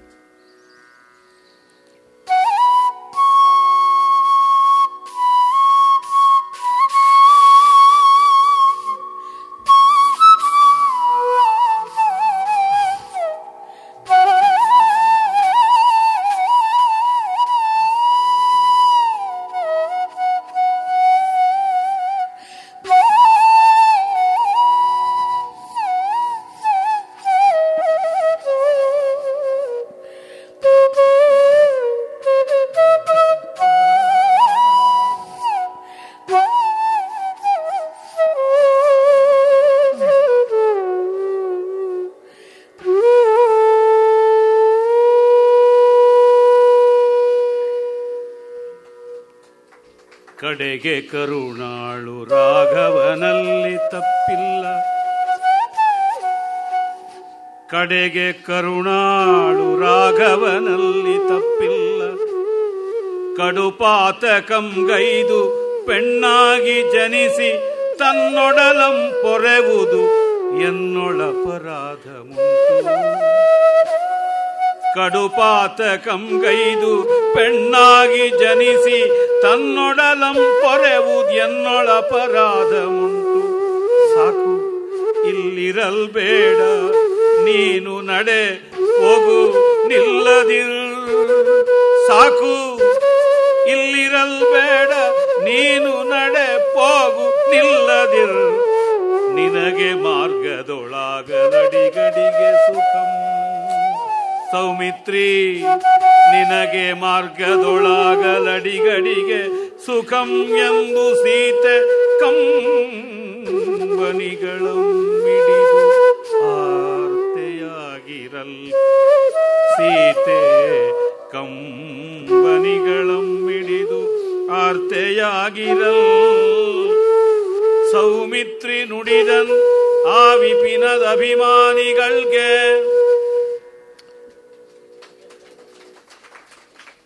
ಪಾಪ, ಆ ಸೀತೆ ತುಂಬ ಅಸಹಾಯಕತೆಯಿಂದ ಹೇಳ್ತಾ ಇದ್ದಾಳೆ, ಕಡೆಗೆ ಕರುಣಾಳು ರಾಘವನಲ್ಲಿ ತಪ್ಪಿಲ್ಲ. ಏನು ತೀವ್ರತೆ, ಏನು ವ್ಯಂಗ್ಯ, ಎಷ್ಟು ಮರ್ಮಭೇದಕವಾದ ಮಾತು. ಕರುಣಾಳು ರಾಮ ಅವನಲ್ಲಿ ತಪ್ಪಿಲ್ಲ ಅಂತ. ಇದನ್ನು ಫೇಸ್ ವ್ಯಾಲ್ಯೂಯಿಂದ ತಗೊಳ್ಳೋಕ್ಕೆ ಸಾಧ್ಯವೇ ಇಲ್ಲ. ಆದರೆ ಒಂದು ನಿರಾಶೆಯ ಭಾವದಲ್ಲಿ ಹೌದು. ಇದರೊಳಗೆ ಯಾರ ತಪ್ಪು, ಯಾರ ಸರಿ ಅಂತ ಹೇಗೆ ನಿಶ್ಚಯ ಮಾಡೋಣ? ರಾಮನಲ್ಲೂ ತಪ್ಪಿಲ್ಲಪ್ಪ, ಅಷ್ಟೇ. ಅಂತ ತನ್ನ ಬದುಕನ್ನೂ ಆಚೆ ನಿಂತು ನೋಡುವ ಸ್ಥಿತಿಯು ಬಂದುಬಿಡುತ್ತೆ. ಹೌದು, ಇದಾಗತ್ತೆ, ಅಷ್ಟೇ, ಇನ್ನೇನು ಮಾಡೋದು ಅಂತ. ಈ ಸ್ಥಿತಿಯೂ ಇದೆ. ವ್ಯಂಗ್ಯದ ಪರಿಧಿಯನ್ನು ಮೀರಿ, ಕೋಪದ ಅವಧಿಯನ್ನು ದಾಟಿ ವೈರಾಗ್ಯದ ಹಂತಕ್ಕೆ ಬಂದುಬಿಡೋದು. ಇದೇ ಆಗಿರತಕ್ಕಂಥದ್ದು. ಕರಳಿಗೆ ಕರುಣ, ಕರುಣಾಳು ರಾಘವನಲ್ಲಿ ತಪ್ಪಿಲ್ಲ ಅನ್ನುವುದು ಯಾವುದೇ ಕಟಕಿ ಮೂದಲಿ ಇಲ್ಲದೇನೂ ಇರತಕ್ಕಂಥ ಸ್ಥಿತಿ ಆಗುತ್ತದೆ ಕಡುಪಾತಕಂಗೈದು ಪೆಣ್ಣಾಗಿ ಜನಿಸಿ ತನ್ನೊಡಲಂ ಎನ್ನೊಳ ಅಪರಾಧ ಉಂಟು ಹೆಣ್ಣು ಜೀವಕ್ಕೆ ಬಂದದ್ದು ಇದು. ಯಾಕೆಂದರೆ ಹೆಣ್ಣಿನ ಮೇಲೆ ಬಂದ ಅಪವಾದಕ್ಕೆ ಆ ಕಾಲದಲ್ಲಂತೂ ಬಹಳ ದೊಡ್ಡ ಭಯಂಕರ ಸಾಕ್ಷ್ಯ ಇತ್ತು. ಗರ್ಭವೇ ದೊಡ್ಡ ಸಾಕ್ಷ್ಯ. ನಾನು ಎಷ್ಟೋ ಬಾರಿ ಯೋಚನೆ ಮಾಡಿದ್ದೀನಿ, ಏನೆಲ್ಲ ಬದಲಾವಣೆಗಳು ಬಂದಿದೆ ಅಂತ? ಇದನ್ನು ಹಿಂದಿನ ಅಧ್ಯಯನಗಳು ಹೇಳಿವೆ. ಆದರೆ ಅಧ್ಯಯನಕ್ಕಿಂತ ಹೆಚ್ಚಾಗಿ ನನ್ನ ಆಲೋಚನೆಯಲ್ಲೇ ಕಂಡುಕೊಂಡಿದ್ದರಿಂದ, ನನ್ನ ಆಲೋಚನೆ ಒರಿಜಿನಲ್ ರಿಸರ್ಚ್ ಅಂತ ಜಗತ್ತಿಗಲ್ಲವಾದರೂ ನನ್ನ ಮಟ್ಟಿಗೆ ಹೌದು. ಅದು ಒಂದು ಏನೆಂದರೆ, ನಮ್ಮ ಜಗತ್ತಿನ ಆಲೋಚನೆಯನ್ನು ಎಷ್ಟೋ ಮಟ್ಟಕ್ಕೆ ಬದಲಾಯಿಸುವ ಸ್ಥಿತಿಗೆ ಬಂದುಬಿಟ್ಟಿದ್ದು ಜಗತ್ತಿನ ಜೀವನ ಕ್ರಮವನ್ನು. ಒಂದು ಸೈನ್ಸ್ ಆ್ಯಂಡ್ ಟೆಕ್ನಾಲಜಿ ಮತ್ತೊಂದು ಡೆಮಾಕ್ರಸಿ ಅಂತೀವಿ. ಅಂದರೆ ತಂತ್ರಜ್ಞಾನ, ವಿಜ್ಞಾನಾದಿಗಳು ಹೇತುವಾದ ರೀಸನಿಂಗ್ ಅನ್ನುವಂಥದ್ದನ್ನು ತಂದು ಕಾರ್ಯಕಾರಣ ಭಾವವನ್ನು ತೋರಿಸಿ ಮಾಡುವಂಥದ್ದು, ದೇಶ ಕಾಲಗಳನ್ನು ಚಿಕ್ಕದು, ದೊಡ್ಡದು ಮಾಡುವಂತೆ ಆಗಿರ್ತಕ್ಕಂಥದ್ದು. ಟೆಕ್ನಾಲಜಿ ತುಂಬ ವ್ಯತ್ಯಾಸವನ್ನು ಮಾಡುತ್ತೆ. Science will give reasoning and science and technology will change space and time ನೋಡಿ, ದೆಹಲಿನಲ್ಲಿರ್ತಕ್ಕಂಥವರು ಈ ಕ್ಷಣದಲ್ಲಿ ನನ್ನ ಜೊತೆ ಮಾತಾಡಬಹುದು. ಯಾಕೆ ಇನ್ನೊಂದು ಪಶ್ಚಿಮಾರ್ಧ ಗೋಳದಲ್ಲಿದ್ದವರು ಮಾತಾಡಬಹುದು? ಮಾತಾಡೋದು ಮಾತ್ರವಲ್ಲ, ಅವರೊಂದು ಕಾಗದ ಪತ್ರ ಕಳಿಸ್ಕೊಡ್ಬಹುದು. ಈ ಥರದ್ದು ಮಾಡ್ಬೋದು ಇಲ್ಲಿಂದ ನಾನು ಅವ್ರಿಗೇನಾದ್ರು ಬೇಕು ಅಂತಂದರೆ ಒಂದು ದಿವಸದ ಅವಧಿಯಲ್ಲಿ ಅವರು ಕಳಿಸ್ಕೊಡ್ಬೋದು. ಅವರು ನನಗೆ ಕಳಿಸ್ಕೊಡ್ಬೋದು. ಇನ್ನು ಹೆಚ್ಚೆಚ್ಚಾಗ್ತಾ ಹೋಗ್ತಾ ಇದೆ. ಹಿಂದೆ ಎಂದೆಂದೂ ಕಾಣಲಾಗದೆ ಕೇಳಲಾಗದೆ ಇರತಕ್ಕಂಥದ್ದು ಈ ಸ್ಥಿತಿ ಬಂದಿದೆ. ಈಗೊಂದು ಮತ್ತು ಎಲ್ಲವೂ ತರ್ಕಬದ್ಧವಾಗಿರಬೇಕು. ನಾವು ವಿಚಾರ ಕ್ರಮ ಶೋಧಿಸದೆ ಒಪ್ಕೊಳ್ಳಲ್ಲ ಅನ್ನುವಂಥದ್ದು. ಮತ್ತೊಂದು, ಎಲ್ಲರೂ ಸಮಾನರು. ಎಲ್ಲರಿಗೂ ಅಧಿಕಾರ ಉಂಟು ಅಂತ. ಹೀಗೆ ಡೆಮಾಕ್ರಸಿಯಲ್ಲಿ ಈಕ್ವಾಲಿಟಿ ಅನ್ನುವ ಒಂದು ಭಾವ, ಅದಾದ ಮೇಲೆ ಮತ್ತೊಂದು ಪ್ರತಿಯೊಬ್ಬರಿಗೂ ಪ್ರತಿಯೊಂದನ್ನು ಪ್ರಶ್ನೆ ಮಾಡುವ ಅಧಿಕಾರವಿದೆ ಅಂತ. ಸಮಾನತೆ ಮತ್ತು ಅಧಿಕಾರ. ಸರ್ವತ್ರ ಅಧಿಕಾರ, ಇದು ಎರಡೂ ಆಗುತ್ತದೆ. ಮತ್ತೊಂದು ಹಿಂದೆ ಎಲ್ಲ ಇಲ್ಲದೇ ಇದ್ದದ್ದು, ಇಂದು ಇರತಕ್ಕಂಥದ್ದು ಏನಂದರೆ, ಹೆಣ್ಣು ಗಂಡಿಗಿದ್ದ ಮುಖ್ಯ ವ್ಯತ್ಯಾಸ ಕಡಿಮೆ ಆಗ್ತಾ ಇದೆ. ವಿಜ್ಞಾನ ತಂತ್ರಜ್ಞಾನ ಬಂದ ಕಾರಣ ಹೆಣ್ಣಿಗೆ ಸ್ವಲ್ಪ ಶಾರೀರಿಕವಾದ ಶಕ್ತಿ ಸಾಮರ್ಥ್ಯ ಕಡಿಮೆ ಹತ್ತು ಮೈಲಿ ಗಂಡಸು ನಡೆದಂತೆ ಹೆಣ್ಣಿಗೆ ನಡೆಯೋಕೆ ಆಗೋಲ್ಲ ಅಂತಲೋ ಓಡೋಕ್ಕೆ ಆಗುವಷ್ಟು ಆಗೋಲ್ಲ ಅವನಿಗೆ ಒಬ್ಬ ಒಬ್ಬರನ್ನು ಎದುರಿಸಬಲ್ಲ, ಹೊಡೆದು ಬಡ್ದು ಮಾಡಬಲ್ಲ ಈಗ ಆಗೋಲ್ಲ ಅಂದರೆ ಟೆಕ್ನಾಲಜಿ ಇದೆ. ಕಾರನ್ನು ಡ್ರೈವ್ ಮಾಡ್ಕೊಂಡು ಹೋಗ್ತಾಳೆ, ಎಷ್ಟು ಶರವೇಗದಲ್ಲೂ ಹೋಗ್ಬೋದು. ಏರೋಪ್ಲೇನ್ಗಳನ್ನೇ ನಡೆಸ್ತಾ ಇದ್ದಾರೆ. ಅದೇ ರೀತಿಯಲ್ಲಿ ಅಟಕಾಯಿಸ್ತೀಯ, ನಾನು ಕರಾಟೆ ಕಲ್ತಿದ್ದೀನಿ, ಜೂಡೋ ಕಲ್ತಿದ್ದೀನಿ, ಅಥವಾ ಪೆಪ್ಪರ್ ರಿವಾಲ್ವರ್ ಇಟ್ಕೊಂಡಿದ್ದೀನಿ ಇಲ್ಲ ಸಾಕ್ಷಾತ್ ರಿವಾಲ್ವಾರೇ ಇಟ್ಕೊಂಡಿದ್ದೀನಿ ಹೀಗೆ ಶತ್ರುವನ್ನು ನಿಯಂತ್ರಿಸೋಕೆ ದೈಹಿಕ ಬಲ ಬೇಕಾಗಲ್ಲ, ವೈಜ್ಞಾನಿಕವಾದ ತಂತ್ರಜ್ಞಾನದ ಬಲ ಸಾಕು ಅಂತ. ಹೀಗೆ ಅಬಲೆ ಸಬಲೆಯೂ ಆಗ್ತಾ ಇದ್ದಾಳೆ. ಮತ್ತು ಇನ್ನೊಂದು ಗಂಡಿಗೆ ಗರ್ಭದ ಸಮಸ್ಯೆ ಇಲ್ವಲ್ಲ ನನಗೂ ಗರ್ಭದ ಸಮಸ್ಯೆ ಇಲ್ಲ ಅಂತ ಕಾಂಟ್ರಸೆಪ್ಟಿವ್ಸ್ ಗರ್ಭ ನಿರೋಧಕಗಳು ಬಂದಿವೆ. ಹೀಗಾಗಿ ಅದು ಆಗಿದೆ.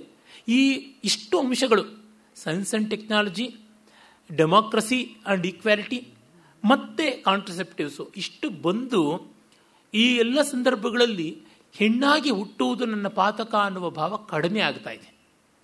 ಆದರೆ ಆಗ ಪಾಪ ಇದ್ಯಾವುದೂ ಇಲ್ಲದೇ ಇದ್ದ ಕಾಲದಲ್ಲಿ ಎಷ್ಟು ನೊಂದಿರಬಹುದು, ಎಷ್ಟು ಹೆಣ್ಣು ಮಕ್ಕಳು ಎಷ್ಟು ಸಂಕಟ ಪಟ್ಟಿರಬಹುದು ಊಹಾತೀತವಾದದ್ದು, ಆ ಮೂಕವೇದನೆ ಎಂಥದ್ದು ಅಂತಲೇ ಹೇಳೋಕ್ಕಾಗೋಲ್ಲ.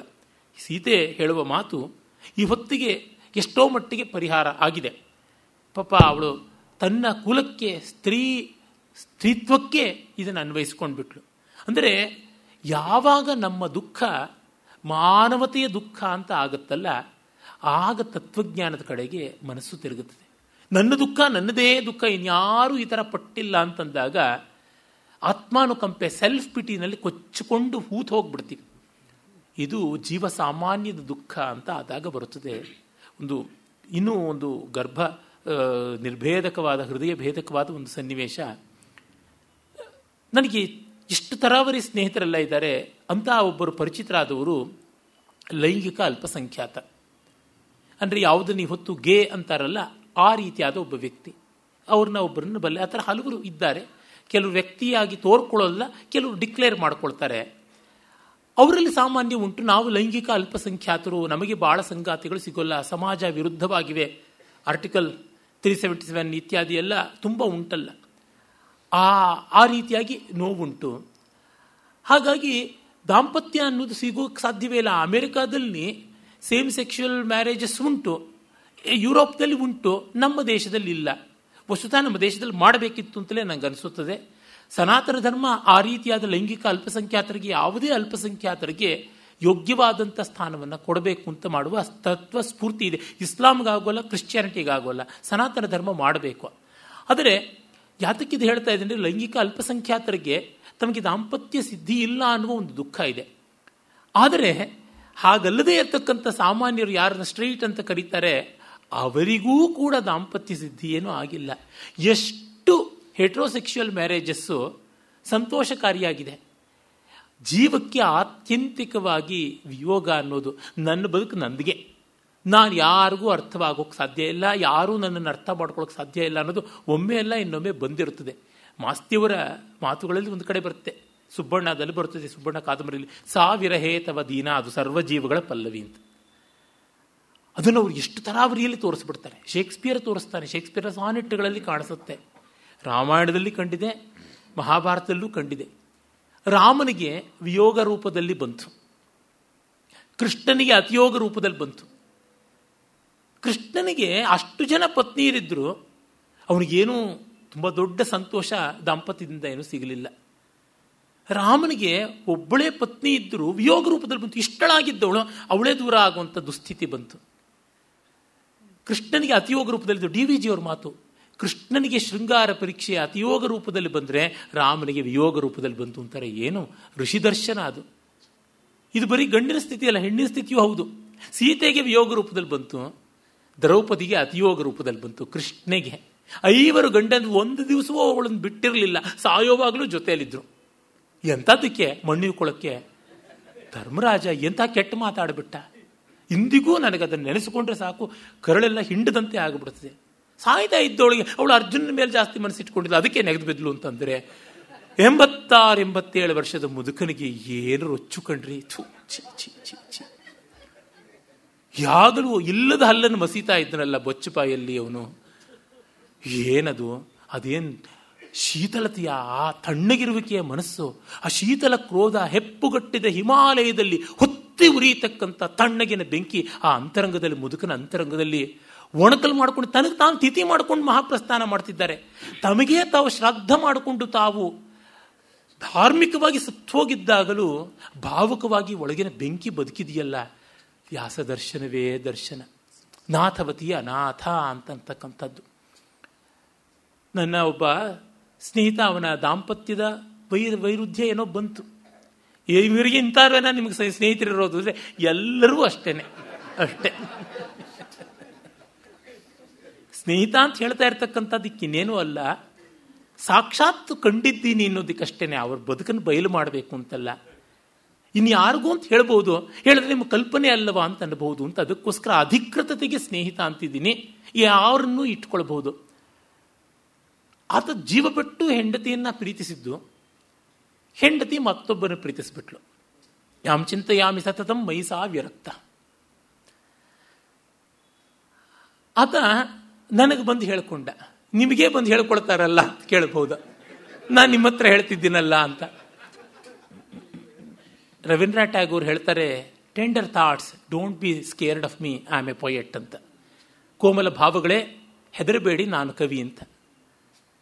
ಅಷ್ಟೇ, ನನ್ನ ಭಾಗ್ಯ, ಅವರುಗಳ ನೋವನ್ನು ಕಂಡು ನನ್ನ ನೋವು ಎಂಥದ್ದು ಅಂತ ಕಂಡುಕೊಳ್ಳೋಕ್ಕಾಗುತ್ತದೆ. ನಮ್ಮ ಅಂತರಂಗವನ್ನು ಕಂಡುಕೊಳ್ಳೋದಕ್ಕೆ ಅವರೆಲ್ಲ ಎಲ್ಲರಿಗ ಈಗ ನಮ್ಮ ಬಂಧುಗಳೇ ಭಾಗಿಗಳೇ ಉಲ್ಲಾಸವಿತ್ತವರೇ, ಮನವ ತೊಳೆದರೆ, ತೊಳೆದವರೇ, ಟೊಳ್ಳು ಜಗ ಸಾಕು ಬಾಳ್ ಎನಿಸಿ ಗುರುವಾದವರೇ, ಕೊಳ್ಳಿರಿ ನಮನವನ್ನು ಮಂಕುತಿಮ್ಮ ಅಂತ ಡಿ ವಿ ಜಿ ಹೇಳ್ತಾರೆ. ಟೊಳ್ಳು ಜಗ ಸಾಕು ಬಾಳ್ ಎನಿಸಿ ಗುರುವಾದವರೇ ಅಂತ.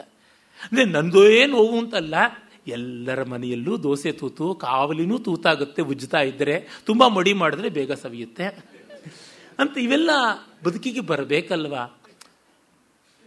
ಅಂದರೆ ಆಗ ಆ ಸ್ನೇಹಿತನಿಗೆ ನಾನು ಹೇಳಿದ್ನಲ್ಲ, ಲೈಂಗಿಕ ಅಲ್ಪಸಂಖ್ಯಾತ ಸ್ನೇಹಿತ, ಆತ ಹೇಳಿದ್ರು, ನೋಡಿ, ನನಗೂ ಹೀಗೆ ಅಂತ ಅಂದ್ಕೊಂಡ್ರೆ, ನಿಮಗೂ ಹೀಗೇನಾ? ಅಂದರೆ ನಿಜವಾದ ಪ್ರೀತಿ ವಿಶ್ವದಲ್ಲಿ ದುರ್ಲಭ. ಭದ್ರಂ ತಸ್ಯ ಸುಮಾನುಷಸ್ಯ ಕಥಮಪ್ಯೇಕಂ ಹಿತತ್ ಪ್ರಾಪ್ಯತೆ ಅಂತ ಬಹುಭೂತಿ ಸುಮ್ಮನೆ ನಾ ಹೇಳಿದ್ದು. ಹಾಗಾಗಿ don't have too much of expectations from any companion ಸ್ನೇಹಿತರಲ್ಲಾಗಲಿ, ಗಂಡ ಹೆಂಡತಿರ, ಇದು ಪೆಸಿಮಿಸಮ್ಗಲ್ಲ ಅವರಿಗೆ ನಾವೊಂದು ಸಂಸ್ಕಾರ ನಮಗವರೊಂದು ಸಂಸ್ಕಾರ. ಒಪ್ಪೋಣ, ಮಾಡೋಣ. ಟೂ ಮಚ್ ಆಫ್ ಎಕ್ಸ್ಪೆಕ್ಟೇಷನ್ಸ್ ಇಟ್ಕೊಂಡು ಅವ್ರನ್ನ ನೋಯಿಸೋದು ಬೇಡ. ಹಾಗೆಂತ ಕತ್ತರಿಸಿಕೊಳ್ಳೋದು ಬೇಡ. ಸಾತ್ವಿಕ ಸುಖ, ಕಲೆ, ಸಂಗೀತ, ಸಾಹಿತ್ಯ, ಆತ್ಮೌಪಮ್ಯವನ್ನು ಪಡ್ಕೊಂಡು ಆ ಮೂಲಕ ನಮ್ಮ ಜೊತೆಯವರನ್ನು ನಾವು ಸಹಾನುಭೂತಿಯಿಂದ ಕಾಣೋಣ. ಬಯಕೆಯಿಂದ ಕಾಣದೆ ಅನುಗ್ರಹ ಬುದ್ಧಿಯಿಂದ ಕಾಣೋಣ. We shall bless them with our love ಅಂತ. ಆ ರೀತಿ ಕಾಣೋಣ ಅಂತ ಈ ಸ್ಥಿತಿಗೆ ಬಂದುಬಿಡುತ್ತದೆ ಹೀಗಾಗಿ ಕಡೆಗೆ ಕರುಣಾಳು ರಾಘವನಲ್ಲಿ ತಪ್ಪಿಲ್ಲ. ಕಡುಪಾತಕಂಗೈದು ಪೆಣ್ಣಾಗಿ ಜನಿಸಿದ ಎನ್ನುಡಲಂ ಪೊರವದು ಎನ್ನುಳ ಅಪರಾಧ ಮುಂಟು ಸಾಕು. ಇರಲ್ ಬೇಡ. ಸಾಕಪ್ಪ ಬೇಡ. ನಾನು ನನ್ನ ಬದುಕು ಕಾಣ್ತೀನಿ. ಬದುಕೋ ಸಾವೋ ಕಾಣ್ತೀನಿ. ನಡೆ ಹೋಗು ನಿಲ್ಲದಿರ್ ನಿನಗೆ ಮಾರ್ಗದೊಳ್ ಅಡಿಗಡಿಗೆ ಸುಖಮೆಂದು. ಇದರಲ್ಲಿ ಯಾವ ವ್ಯಂಗ್ಯ ಇಲ್ಲ. ಥರ ಆಯಿತು. ಇನ್ನೇನು ನನಗೆ ಬದುಕಲ್ಲಿ ಕಷ್ಟ ಬರೋಕ್ಕೆ ಸಾಧ್ಯ? ಮುಗೀತಲ್ಲ. ಲೋಕ ಚೆನ್ನಾಗಿರಲಿ. ಲೋಕ ಸಮಸ್ತ ಸುಖಿನೋ ಭವಂತು ಅಂತ ಈ ಮಟ್ಟದ ಭರತವಾಕ್ಯ ಸೀತೆ ಎದೆ ಎದೆ ಬಡ್ಕೊಂಡು ಮಣ್ಣು ತೂರಿ ಶಾಪ ಹಾಕಿ ಅಂಬೆ ಥರ ಆಡಿಬಿಟ್ರೆ ಅವಳು ಸೀತೆನಾ ಅವಳು? ಆಗೋಲ್ಲ. ಅಂಬೆಯ ಮೇಕೆ ಬೇರೆ, ಅವಳ ಹಾರ್ಡ್ ಬೇರೆ ಬೇರೆ. ಸೀತೆ ಪ್ರೋಗ್ರಾಮೇ ಬ, ಬ್ರಹ್ಮ ಬೇರೆ ಥರ ಬರೆದಿರೋದು. ನಮ್ಮಲ್ಲಿ ಈ ಸ್ತ್ರೀವಾದದಲ್ಲಿ ಎಲ್ಲ ಪಾತ್ರಗಳನ್ನು ಒಂದೇ ಆಗಿ ಮಾಡಿಬಿಡ್ತಾರೆ. ಭಕ್ತಿ ಹೇಗೆ ಎಲ್ಲಕ್ಕೂ ಒಂದೇ ಬಣ್ಣ ಕಾವಿ ಬಳದು ಹಾಕ್ಬಿಡುತ್ತೋ, ಇವರು ಎಲ್ಲದಕ್ಕೂ ರಕ್ತ, ಕೆಂಪು ಬಣ್ಣ ಬಳದು ಒಂದೇ ಹಾಕ್ಬಿಡ್ತಾರೆ. ಹಾಗಲ್ಲ, ಒಂದೊಂದಕ್ಕೆ ಒಂದೊಂದು ಪ್ರತಿಕ್ರಿಯೆ ಇರುತ್ತೆ. ಕಾತ್ಯಾಯನಿಗೆ ಬರುವ ನೋವು ಬೇರೆ, ಕಾಂತಿಗೆ ಬರುವ ನೋವು ಬೇರೆ. ಕಾಂತಿ, ಕಾತ್ಯಾಯಿನಿ, ಭೈರಪ್ಪನವರು ಎರಡು ಪಾತ್ರಗಳು. ಕಾತ್ಯಾಯಿನಿ ವಂಶವೃಕ್ಷದವಳು, ಕಾಂತಿ ತಂತುವಿನವಳು. ಆದರೆ, ಅವರು ಬೇರೆ ಬೇರೆ ಥರನೇ ನಡ್ಕೊಳ್ಬೇಕು. ವಂಶವೃಕ್ಷದ ಅಮೋಘವಾದ ಕೃತಿಯ ಒಂದು ಸ್ವಾರಸ್ಯ ನೋಡಿ ನಾಗಲಕ್ಷ್ಮಿ ಅಂತ ಪಾತ್ರ ಇರುತ್ತದೆ. ಸದಾಶಿವರಾಯರ ಹೆಂಡತಿ. ಗಂಡ ತನ್ನ ವಿದ್ವತ್ ಕಾರ್ಯಕ್ಕೆ ಸಹಕಾರಿಣಿ ಆಗ್ತಾಳೆ ಅಂತ ಮತ್ತೊಬ್ಬ ಹೆಣ್ಣನ್ನು ಮದುವೆ ಆಗ್ಬಿಡ್ತಾನೆ ತನ್ನ ವಿದ್ಯಾರ್ಥಿನಿಯನ್ನೇ. ಈಕೀಗ ಪಾಪ ನಿರಕ್ಷರ ಕುಕ್ಷಿ ರಾಮನಾಮ ಬರೆಯೋಷ್ಟು ಮಾತ್ರ ಅಕ್ಷರ ಜ್ಞಾನ ಇರುತ್ತದೆ. ಕಡೆಗೆ ಹೇಗೂ ಆಗಿ ಎಷ್ಟೋ ವರ್ಷ ಆದಮೇಲೆ ಗಂಡ ಹೆಂಡತಿಯರಿಬ್ರು ಸೇರಿರುವಂಥದ್ದು ಅಂತ ಆಗುತ್ತದೆ ಆ ಆನಂದ ತಡೆಯಲಾರದೆ ಗಂಡ ಸತ್ತೋಗ್ಬಿಡ್ತಾನೆ. ಎಂಥ ದ್ವಂತ ಎಲ್ಲ ಸಂಸಾರ ಸರಿಗಿರಬೇಕು ಅನ್ನೋಷ್ಟೊತ್ತಿಗೆ ಸಂಸಾರಕ್ಕೆ ಮೂಲಭೂತವಾದ ವ್ಯಕ್ತಿನೇ ಹೊರಟೋಗ್ಬಿಡ್ತಾನೆ. ತುಂಬ ದುಃಖ ಆಗ್ಬಿಡುತ್ತೆ. ಅವಳು ಅಂದ್ಕೋತಾಳೆ ಈ ಥರ ಇವರು ಸಂತೋಷ ಪಡಿಸಿದ್ರಿಂದಲೇ ಹಿಂಗೆ, ಈ ರಾಜಿ ಆಗಿದ್ರಿಂದಲೇ ಹಿಂಗೆ ಸತ್ತೋಗಿದ್ದಾಯ್ತಾ ಅಂತ ಕರುಣಾರತ್ನೆ ಅಂದ್ಕೋತಾಳೆ. ನಾಗಲಕ್ಷ್ಮಿ ಕಡೆಗೆ ಹೇಳ್ತಾಳೆ, ನಾನಂತೂ ಮಡಿ ಮಾಡ್ಕೋತೀನಿ, ತಲೆ ಕೂದಲು ತೆಗೆದು ಮಡಿ ಹಿಡಿದು ಬಿಡ್ತೀನಿ, ತಲೆ ಬೋಳಿಸ್ಕೊಂಡು ಕೆಂಪು ಸೀರೆ ಉಟ್ಕೋತೀನಿ ಅಂತ. ರಾಜ ಅವಳ ಗಂಡನ ತಮ್ಮ, ಮೈದುನ, ಮಗನ ತರವೇ ಬೆಳೆದವನು, ಖಂಡಿತ ಸಾಧ್ಯ ಇಲ್ಲ ಅಂತ ಅವನು ಆಧುನಿಕ ಮನೋಭಾವದವನು ಕೂಡ ಗಲಾಟೆ ಮಾಡ್ತಾನೆ. ಇದೆಲ್ಲ ಸಾವಿರದ ಒಂಬೈನೂರ ನಲವತ್ತರ ಇಸ್ವಿನಲ್ಲಿ. ತುಂಬ ಸಹಜವಾದ ಸನ್ನಿವೇಶಗಳು. ಹತ್ತು ಕರೆದು ಗಲಾಟೆ ಮಾಡ್ತಾಳೆ ಇವಳು, ಇವನು ಒಪ್ಪಲ್ಲ. ಆಗ ನೋಡಿ ಅವಳು ಕಾತ್ಯಾಯನಿ ಹೇಳ್ತಾಳೆ, ಇಲ್ಲ, ನಿಮಗೆ ಅರ್ಥ ಆಗೋದಿಲ್ಲ. ಅಕ್ಕ ಮಾಡಲಿ, ಮಡಿ ಹಿಡ್ಕೊಳ್ಳಿ ಅಂತ. ಇವಳು ಮಡಿ ಹಿಡ್ಕೊಳ್ಳಿಲ್ಲ. ಅವಳಿಗಾಗಲೇ ಬಂದುಬಿಟ್ಟಿದೆ ಕಾತ್ಯಾಯನಿಗೆ. ನನಗೂ ತಲೆ ಬೋಳಿಸಿ, ಕೆಂಪು ಸೀರೆ ಉಡಿಸಿದ್ದಿದ್ರೆ ನಾನು ಮಗನ ಕಳ್ಕೊಳ್ತಿರ್ಲಿಲ್ಲ, ಈ ಒಂದು ಸಂದಿಗ್ಧತೆಗೆ ಬರ್ತಾ ಇರಲಿಲ್ಲ ಅಂತ. ಈ ಸ್ಥಿತಿ ಕಾತ್ಯಾಯನಿ ಇದು ಏನಿದು ಅನ್ಯಾಯ? ಕಾತ್ಯಾಯನಿಯನ್ನು ನೀವು ತಳೆ ಬೋಡಿಸ್ತಾ ಇದ್ದೀರಲ್ಲ, ಭೈರಪ್ಪನವ್ರು ಮಾಡಿದ್ದಲ್ಲದೆ ಗಣೇಶ್ ಅವರು ಇನ್ನೂ ಹಾಳು ಮಾಡ್ತಾ ಇದ್ದೀರಲ್ಲ ಅಂತಂದರೆ ಅದಲ್ಲ. ಕಾತ್ಯಾಯಿನಿಯ ಸ್ಥಿತಿ ಅದು. ಎಲ್ಲ ಹೆಣ್ಣುಗಳ ಸ್ಥಿತಿ ಅಂತಲ್ಲ, ಎಲ್ಲ ಜೀವದ ಸ್ಥಿತಿ ಅಂತಲ್ಲ. ಅವಳಿಗೆ ಒಂದು ಕ್ಷಣ ಅನಿಸಿರುತ್ತೆ. ನನಗೆ ಬದುಕಿನಲ್ಲಿ ದ್ವಂದ್ವ ಬರ್ತಿರಲಿಲ್ಲ. ಗಂಡನೋ, ಮಗನೋ, ಮುಪ್ಪಿನ ಮಾವನ್ನು ಬಿಟ್ಟು ಬಂದೆ ಎನ್ನುವ ಪಖ್ಯಾತಿ ಬಂತು. ಹೊಸ ಸಂಸಾರದಲ್ಲಿ ಬಸರು ಉಳಿಲಿಲ್ವಲ್ಲ, ಏನು? ಈ ಥರದ್ದು ಎಷ್ಟೋ ಬಂದಾಗ ಅಕ್ಕನಿಗಿರೋ ನಿಶ್ಚಯ ನನಗಿಲ್ಲ, ಆಕೆಗಾದರೂ ಇರಲಿ. ಇದ್ದೂ ಗಂಡ ಇಲ್ಲದಂಗೆ ಕಳ್ಕೊಡ್ಲು ಆಕೆಗೆ ಒಂದು ನೆಮ್ಮದಿ ಮಡಿ ಆಗ್ತೀನಿ ಅಂತಿದೆ ಇರಲಿ ಅಂತ ಇಷ್ಟೆಷ್ಟು ಥರ ಇರ್ಬೋದು. ಇದರೊಳಗೆ ಅಬ್ಸಲ್ಯೂಟ್ ಆದ ಸರಿ ಅನ್ನೋದಿಲ್ಲ. ಆತ್ಯಂತಿಕವಾದ ಸರಿತನ ಅನ್ನೋದಿಲ್ಲ. ಸಾಪೇಕ್ಷತೆ ಉಂಟು. ಹಾಗಾಗಿ ಸೀತೆಯ ಮನೋಧರ್ಮವನ್ನು ಆ ಪಾತ್ರದ್ದಾಗಿ ಗ್ರಹಿಸಿದಾಗ ನಮ್ಮ ಅಂತರಂಗದ ಮನೋಧರ್ಮ ಏನು ಅಂತ ನಮಗೆ ಗೊತ್ತಾಗ್ತಾ ಬರ್ತದೆ. ನಿನಗೆ ಒಳ್ಳೇದಾಗಲಪ್ಪ ಅಂತ. ಯಾವ ಕಹಿನೂ ಇಲ್ಲ. ನಿನಗೆ ಚೆನ್ನಾಗಾಗಲಿ, ಒಳ್ಳೇದಾಗಲಿ. ನಾನು ನಿನ್ನ ಕೆಟ್ಟದ್ರೊಳಗೆ ನನಗೆ ಸಂತೋಷ ಏನಿಲ್ಲ. ನನ್ನ ಸಂಕಟದಲ್ಲಿ ನಿನಗೇನು ಸಂತೋಷ ಇಲ್ಲ. ಏನೋ ಆಯ್ತಲ್ಲ, ಹೋಗಿ ಬಾ ಅಂತ ಹೇಳ್ತಾಳೆ. ಎಷ್ಟು ಬಗೆಯಲ್ಲಿ ಈ ಪದ್ಯಕ್ಕೆ ಅರ್ಥ ಮಾಡಿಕೊಳ್ಳಬಹುದು ಆದರೆ ಸೀತೆಯ ಬಗೆಯನ್ನು ಅರ್ಥ ಮಾಡಿಕೊಳ್ಳೋದಕ್ಕೆ ಒಂದು ಕೆಲವು ಬಗೆಯ ಅರ್ಥ ಮಾತ್ರ ಯುಕ್ತ ಅಂತ ಗೊತ್ತಾಗುತ್ತದೆ. ಕಂಬನಿಗಳ ಮಿಡಿದು ಆರ್ತೆಯಾಗಿರಲ್ಲ ಸೌಮಿತ್ರ ನುಡಿದನ ವಿಪಿಮಾ, ವಿಪಿನಾಭಿಮಾನಿಗಳಿಗೆ ಅವನಿಗೇನು ಉತ್ತರ ಕೊಡೋಕ್ಕಾಗೋಲ್ಲ. ಕೈ ಕಟ್ಟಿಕೊಂಡು ನಿಲ್ಲಬೇಕು. ಸೀತೆಯ ಜೊತೆ ಮಾತಾಡಲಾರ. ಸೀತೆಯ ಈ ಒಂದು ಪರಿತ್ಯಾಗದ ಸಂದರ್ಭವನ್ನು ತೆಲುಗಿನ ದುವ್ವಿರ ರಾಮರೆಡ್ಡಿ ಅಂತ ಒಬ್ಬ ಕವಿ ಅವರು ಬರೀತಾರೆ, ಅಪವಾದ ದೂಷಿತ ಏನ ಕಾಂತನು ಬಾಸಿ ಪತಿಕೀರ್ತಿ ಪೊಂದುಟ ಭಾವ್ಯ ಮನುಮು ಅಪವಾದ ಬಂದು ಒದ್ದಾಡುವ ಹೆಂಡತಿಯನ್ನ ಪರಿತ್ಯಾಗ ಮಾಡೋದು ಗಂಡನಿಗೆ ಯುಕ್ತ ಅಂತ ಹೇಳು. ತೋಡಿ ಕೋಡಂಡ್ಲು ನಾ ತೋಡಿ ನೆಸ್ತಮನಿಂಟಿ ಕಡಸಾರಿ ನೇಮಂಬು ನಡಿಗೆ ನನ್ನು ನನ್ನ ಜೊತೆ ಓರಗಿತ್ತೀರು ನನ್ನ ತಂಗೀರೆ. ಅವರಿಗೆಲ್ಲ ನನ್ನ ಕೊನೆ ಕ್ಷೇಮ ಸಮಾಚಾರ ಅಂತ ತಿಳಿಸು. ಚಲುಕತ್ತೆಯುಲ್ ನನ್ನ ಬಲುಮಾರು ದಲಕೋಸಿ ಎಂಬುಲಿಂಪ ನಿರುಪಯೋಗ ಮನುಮು. ನಾನು ಹೆತ್ತ ತಕ್ಷಣ ಆ ಸುದ್ದಿನ ತೆಗೆದುಕೊಂಡೋಗಿ ರಾಮನಿಗೆ ಹೇಳಿ, ಅವನೆಲ್ಲ ಮೈಮೇಲಿರೋ ಸಕಲಾಭರಣವನ್ನು ಕಿತ್ತು ಕೊಡೋದು ಈ ಥರ ಕಿಲ್ಲತ್ತು ಕೊಡೋದು ಅಂತಿತ್ತಲ್ಲ, ಅದೆಲ್ಲ ಹೋಯ್ತು. ಮಕ್ಕಳನ್ನ ತೊಟ್ಟಲ್ಲಿ ಆಡಿಸೋದು ಮತ್ತೊಂದು, ಈ ಕೆಲಸದವ್ರಿಗೆ ಎಷ್ಟೋ ಬರೀ ತುಂಬ ಸಂತೋಷ. ನಾನು ನಿಮ್ಮ ಮಗುನ ಎತ್ತಾಡಿಸ್ಬೇಕಮ್ಮ ಅವರೇ. ನಾನು ನಿಮ್ಮ ಮಗುಗೆ ಎಣ್ಣೆ ನೀರು ಒತ್ತಬೇಕು ಈ ಥರ ಎಷ್ಟೆಷ್ಟೋ ಕಲ್ಪನೆಗಳು ಪಾಪ ಮಾಡಿಕೊಂಡಿರ್ತಾರೆ. ಎಲ್ರಿಗೂ ಪ್ರೀತಿ, ವಿಶ್ವಾಸ ಉಂಟು. ಅದೆಲ್ಲ ಇಲ್ಲ ಅಂತಂದುಬಿಡು. ಇನ್ನು ಪ್ರಜಲ ನಿಕಮೀದ ಮೋದಂಬು ಬಡಿಯುಡನಮು ಪ್ರಜೆಗಳು ಇನ್ನು ಮೇಲಾದರೂ ಚೆನ್ನಾಗಿರಲಿ ಅಂತ. ಪತಿನಿ ಎಡಬಾಸಿ ಇಕಸೀತ ಸೀತ ಗಂಡನ ಬಿಟ್ಟು ಸೀತೆ ಇರೋಲ್ಲ ಅಂತ ಹೇಳಿಬಿಡು. ಜನ್ಮ ಜನ್ಮಂ ಬುಲಕು ರಾಮ ಸಾರ್ವಭೌಮು ಪಾ, ರಾಮ ಸಾರ್ವಭೌಮು ಪರಮಪಾವನು ಭರ್ತುಗ ಬಡತು ನನು ಪ್ರತಿಯೊಂದು ಜನ್ಮದಲ್ಲೂ ಇವನೇ ಗಂಡನಾಗಿರಲಿ ಅಂತ. ಅನ್ನುವಂತ. ಅಂದರೆ ಒಬ್ಬೊಬ್ಬ ಕವಿಗೂ ಒಂದೊಂದು ರೀತಿಯಲ್ಲಿ ಆದರೆ ಸೀತೆಯ ಸ್ಥಾಯಿ ಭಾವಕ್ಕೆ ವಿರೋಧವಾಗದಂಥ ನೀತಿಯಲ್ಲಿ ರಾಮಾಯಣ ಬರ್ತಾ ಇದೆ. ಲಕ್ಷ್ಮಣ ಪಾಪ ಇಡೀ ಪರಿಸರಕ್ಕೆ ತನ್ನ ಪ್ರಾರ್ಥನೆಯನ್ನು ಮಾಡ್ತಾನೆ. ಎಲೆ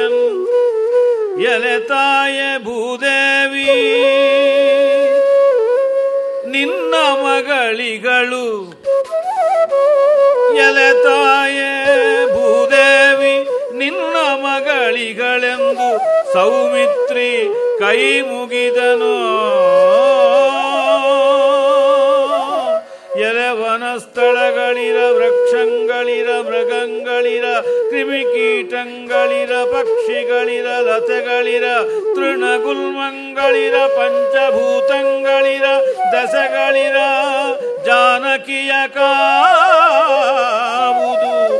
ಎಲೆ ಧರ್ಮ ದೇವತೆ ಜಗಜ್ಜನನಿ ಜಾಹ್ನವಿಯೇ, ಸಲಗಿ ಕೊಂಬುದು ತನ್ನ ಮಾತೆಯೋ, ಎಲೆ ತಾಯ ಭೂದೇವಿ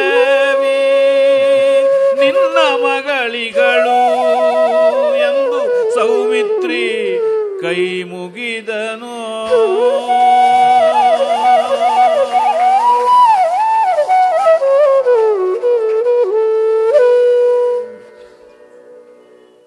ಇಷ್ಟು ಚೆನ್ನಾಗಿ ಹಾಡ್ಬಿಟ್ರೆ ಏನು ವ್ಯಾಖ್ಯಾನ ಮಾಡೋಣ?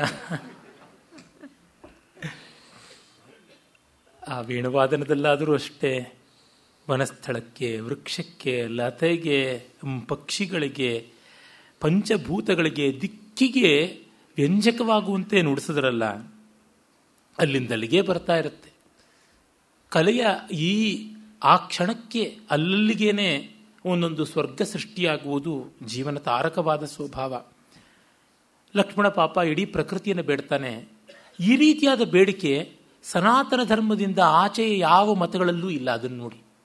ನಾನು ಕ್ರಿಶ್ಚಿಯನ್ ಕಾವ್ಯಗಳನ್ನು ಓದಿದ್ದೀನಿ, ಬೇರೆ ಗ್ರೀಕು ಲ್ಯಾಟಿನ್ ಇತ್ಯಾದಿ ಭಾಷೆಗಳ ಕಾವ್ಯಗಳನ್ನು ಓದಿದ್ದೀನಿ. ಪ್ರಕೃತಿಯನ್ನು ತನ್ನಂತೆ ತೆಗೆದುಕೊಂಡು ಅದನ್ನು ಕುರಿತು ಬೇಡುವುದು, ಅದನ್ನು ಕುರಿತು ಕೇಳುವುದು ಇಲ್ಲ. ಯಾಕೆಂದರೆ ಅಲ್ಲಿ ಜೀವ ಇಲ್ಲ ಅಂತನ್ನುವುದು ಆ ಮತ ಸಿದ್ಧಾಂತವಾಗಿ ಕೂತು ಬಿಟ್ಟಿದೆಯಲ್ಲ ವಿಜ್ಞಾನದಿಂದ ಭಾವನೆ ಬೆಳೆಯೋಲ್ಲ, ಬುದ್ಧಿ ಮಾತ್ರ ಬೆಳೆಯುತ್ತದೆ. ಆದರೆ ಸತ್ಯದಿಂದ, ತತ್ವ ಸಾಕ್ಷಾತ್ಕಾರದಿಂದ ಭಾವನೆ ಬರುತ್ತದೆ, ಭಗವದ್ಭಕ್ತಿಯಿಂದ ಭಾವನೆ ಬೆಳೆಯುತ್ತದೆ.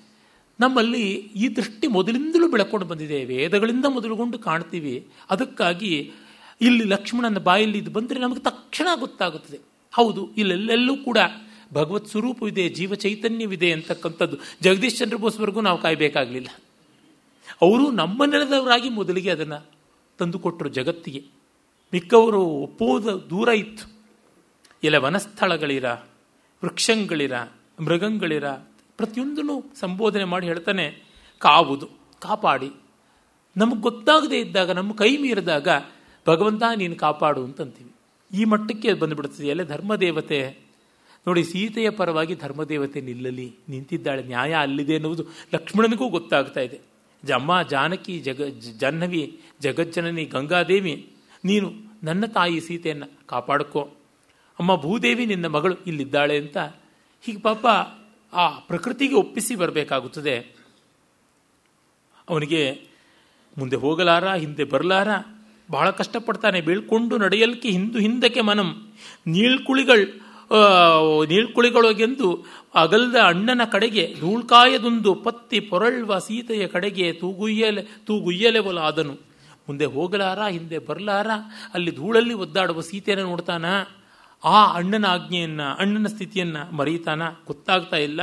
ಹೀಗೆ ಅವನು ತೂಗುಯಾಲೆಯಂತೆ ಹೊಯ್ದಾಡ್ತಾ ಇದ್ದಾನೆ. ಅವಳು ಕೂಡ ನಡೆಗೊಡಲ್ ಕಂಡು ಬಾಯಾರ್ವಳಂ, ಚೀರ್ವಳಂ, ಕಂಬನಿಯೊಳ ಆಳ್ವಳಂ, ಬೀಳ್ವಳಂ, ಪೊರಳ್ದು ಬಸವಳಿವಳಂ, ಸುಳಿವಳಂ, ಅಡಿಗಡಿಗೆ ತಿರುತಿರುಗಿ ನೋಡುವಂ, ಬಾಡುವಂ, ಬಿಡದೆ ಬಿಸುಸುಯ್ದು ಬೆಂಡಾದಪಂ, ಪೋದಪಂ, ಪೊಡೆ ಮರಳ್ವಂ, ನಿಲ್ವನ್ ಅಳಲ್ವಂ, ಬಳಲ್ವಂ ಪಟ್ಟೆಯೊಳ್ ದಿಟ್ಟಿಗೆಟ್ಟು. ಆಮೇಲೆ ಅವನು ಹೊರಟೋಗ್ತಾನೆ. ತಾಯನ್ ಎಳೆಗರು ತಾಯನ್ನ ಆ ಎಳೆಯ ಕರು ಬಿಚ್ಚುವಂತೊಯ್ಯನೊಯ್ಯನೆ ಅತ್ಯಾಯಾಸದಿಂದ ಅಗಲ್ದ ಅಮರ ನದಿಯಂ ದಾಂಟಿ ಕಷ್ಟಪಟ್ಟುಕೊಂಡು ಅವನು ಗಂಗೆಯನ್ನು ಮತ್ತೆ ದಾಟಿಕೊಂಡು ಹೋಗ್ತಾನೆ. ದುಃಖಾರ್ಥನಾಗಿ ಸೌಮಿತ್ರಿ ಸಾಗಿರಲ್ಲಿ ಇತ್ತಲ್ಲಿ ಇವಳ್, ಬಾಯಾರಿ, ಕಂಗೆಟ್ಟು, ಲಕ್ಷ್ಮಣನ ತಲೆ ಮಸುಳಲ್. ಲಕ್ಷ್ಮಣನ ತಲೆಯೂ ಕಾಣಿಸ್ದಂಗಾಯ್ತಲ್ಲ. ಈಗ ಅಲ್ಲಿಯವರೆಗೂ ಬಿಗಿ ಹಿಡ್ಕೊಂಡಿದ್ದ ಕಣ್ಣೀರು ಓ ಒತ್ತರಿಸಿಕೊಂಡು ಬಂತು ಭಯಶೋಕದಿಂದ. ಇಲ್ಲಿವರೆಗೂ ಅವಳಿಗೆ ಭಯವೂ ಗೊತ್ತಾಗಲಿಲ್ಲ. ವಾಸ್ತವ ಅರಿವಾಗ್ತಿದ್ದಂತೆ ಭಯ ಗೊತ್ತಾಗ್ತಾ ಬರುತ್ತೆ. ಭಯಶೋಕದಿಂದ ಸವಳಿದು ಕಾಯಮಂ ಮರೆದು ಅವನಿಯವಳ ಹೊರಗಿದಳು ಮೂರ್ಛೆ ಬಂದುಬಿಡುತ್ತೆ ಅವಳಿಗೆ, ಅದು ಅವಳ ಪಾಲಿಗೆ ರಕ್ಷೆಯಾಗಿ ಬಿಡುತ್ತದೆ ಎಷ್ಟೋ ಬಾರಿ ಈ ಸ್ಥಿತಿ ಇದೆಯಲ್ಲ, ಇದು ದೊಡ್ಡದು. ಕಾಳಿದಾಸ ಕುಮಾರ ಸಂಭವದ ಮೂರನೇ ಸರ್ಗದಲ್ಲಿ ಕಣ್ಣೆದುರಿಗೆ ಗಂಡ ನಿಟ್ಟ ನಿಲುವಿನಲ್ಲಿ ಭಸ್ಮೀಭೂತನಾಗಿ ದಬಕ್ಕನೆ ಭೂಮಿಯಲ್ಲಿ ಆ ಪುರುಷಾಕೃತಿಯ ಭಸ್ಮರಾಶಿಯಾಗಿ ಬಿದ್ದಾಗ ಇವಳನ್ನು ಕಾಪಾಡಿದ್ದು ಮೂರ್ಛೆಯೊಂದೇ ಅಂತ ಕವಿ ಬರೀತಾನೆ. ಇಲ್ಲದೇ ಇದ್ರೆ ಅವಳಿಗೆ ಇನ್ನಷ್ಟು ಸಂಕಟ ಆಗ್ತಾ ಇತ್ತು ರತಿಗೆ ಅಂತ.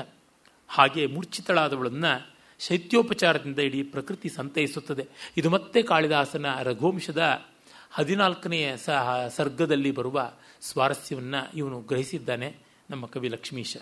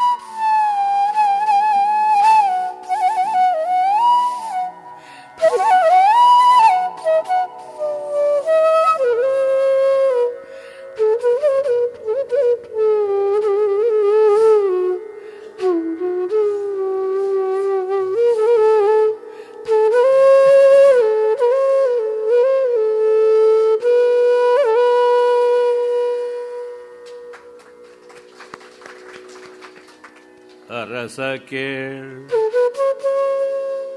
ಅಲ್ಲಿರ್ದ ಪಕ್ಷಿ ಮೃಗ ಜಂತುಗಳ್. ಧರಣಿ ಸುತೆಯಂ ಬಳಸಿ ನಿಂದು. ಅಲ್ಲಿರ್ದ ಪಕ್ಷಿ ಮೃಗ ಜಂತುಗಳ್. ಧರಣಿ ಸುತೆಯಂ ಬಳಸಿ ನಿಂದು.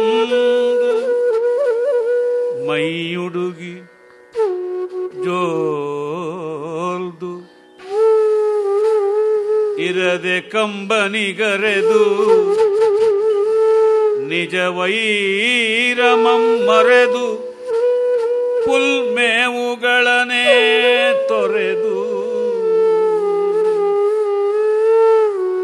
ಜಂತುಗಳ್ ಮೃಗ ಪಕ್ಷಿಗಳ್ ಧರಣಿ ಸುತೆಯಂ ಬಳಸಿ ನಿಂದು ಮೈಯುಡುಗಿ ಜೋಲ್ದು ಇರದೆ ಕಂಬನಿಗರೆದು ನಿಜ ವೈರಮಂ ಮರೆದು ಪುಲ್ಮೇವುಗಳನೆ ತೊರೆದು ಕೊರಗುತ್ತಿರ್ದವು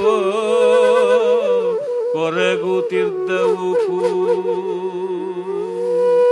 ಕೂಡೆ ವೃಕ್ಷಲತೆಗಳ್ ಬಾಡಿ ಕೂಡೆ ವೃಕ್ಷಲತೆಗಳ್ ಬಾಡಿ ಸೊರಗುತ್ತಿರ್ದವು ಶೋಕ ಭಾರದಿ ಭಾರದಿ ವೃಕ್ಷಲತೆಗಳ್ ಬಾಡಿ ಕೊರಗುತ್ತಿರ್ದವು ಸೊರಗುತ್ತಿರ್ದವು ಕಲ್ಲುಗಳ್ ಕಲ್ಲುಗಳ್ ಕರಗುತ್ತಿರ್ದವು ಜಗದೊಳುತ್ತಮರ ಹಾನಿಯಂ ಕಂಡು ಸೈರಿಸುವರುಂಟೆ.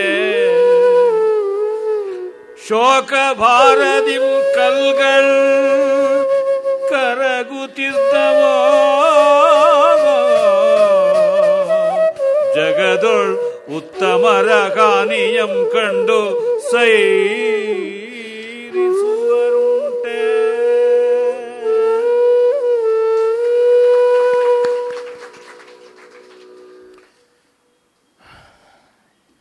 ಬಹಳ ಭಾರವಾಗ್ತಾ ಇದೆ. ಕಷ್ಟ ನಿಮಗೂ ಆಗಿರುತ್ತೆ. ಇಷ್ಟು ಕರುಣರಸವನ್ನು ಎರಡು ಗಂಟೆ ಕೇಳೋದು ಅಂದರೆ ಕಷ್ಟವೇ. ಏನು ಮಾಡೋದು? ಬದುಕಿನ ಹೆಚ್ಚಿನ ಭಾಗ ಒಂದು ಬಗೆಯ ವಿಷಾದ ಇರುತ್ತದೆ. ಅದನ್ನು ರಸವಾಗಿ ಮಾಡಿಕೊಳ್ಬೇಕು. ಶೋಕ ಸ್ಥಾಯಿಭಾವ ಇದ್ದರೆ ತುಂಬ ನಂಜಾಗುತ್ತದೆ. ಶೋಕವನ್ನು ರಸ, ಕರುಣರಸ ಮಾಡಿದರೆ ಅದು ಆಸ್ವಾದ್ಯವಾಗುತ್ತದೆ. ರಸ ಮಾಡ್ಕೊಳ್ಬೇಕಾದ್ರೆ ಒಂದು ಸ್ವಲ್ಪ ದೂರ ನಿಲ್ಲಬೇಕು ಭಾವ ಮಾಡಬೇಕಾದ್ರೆ ಮೈಮೇಲೆ ಹಾಕ್ಕೋಬೇಕು. ಆ ಅಂತರವನ್ನು ಕಾಪಾಡಿಕೊಳ್ಬೇಕು. ಪಕ್ಷಿಗಳು, ಪ್ರಾಣಿಗಳು ಎಲ್ಲ ಸ್ಪಂದನ ಮಾಡುತ್ತವೆ. ಇದನ್ನು ಜೈಮಿನಿ ಮುನಿಗಳು ಜನಮೇಜಯನಿಗೆ ಹೇಳ್ತಾ ಇದ್ದಾರೆ. ಅರಸ ಕೇಳ್ ಅಲ್ಲಿರ್ದ ಪಕ್ಷಿ, ಮೃಗ, ಜಂತುಗಳು ಧರಣುಸುತಿಯಂ ಬಳಸಿ ನಿಂದು ಎಲ್ಲ ಸುತ್ತಲೂ ಬಂದುಬಿಡುತ್ತವೆ. ಆ ಜಡ ಪ್ರಾಣಿಗಳಿಗೂ, ಜಡ ಜೀವಿಗಳಿಗೂ ಗೊತ್ತಾಗ್ತಾ ಇದೆ. ಜೋಲ್ದಿರದೆ ಕಂಬನಿಗೆರದು, ಇರದ ಕಂಬನಿಗೆರದು ನಿಲ್ಲದೆ ಅವು ಪಾಪ ಸಹಾನುಭೂತಿಯ ದುಃಖವನ್ನು ತೋರ್ಪಡಿಸ್ತಾ ಇವೆ. ಹುಲ್ಲು ಮೇವನ್ನೇ ಮರೆತು ಬಿಟ್ಟವು. ಸೊರಗುತ್ತಿರ್ದವು ಕೊರಗುತ್ತಿರ್ದವು ಕರಗುತ್ತಿರ್ದವು ಅಂತ, ಕಲ್ಲೂ ಕರಗುತ್ತು ಅಂತ.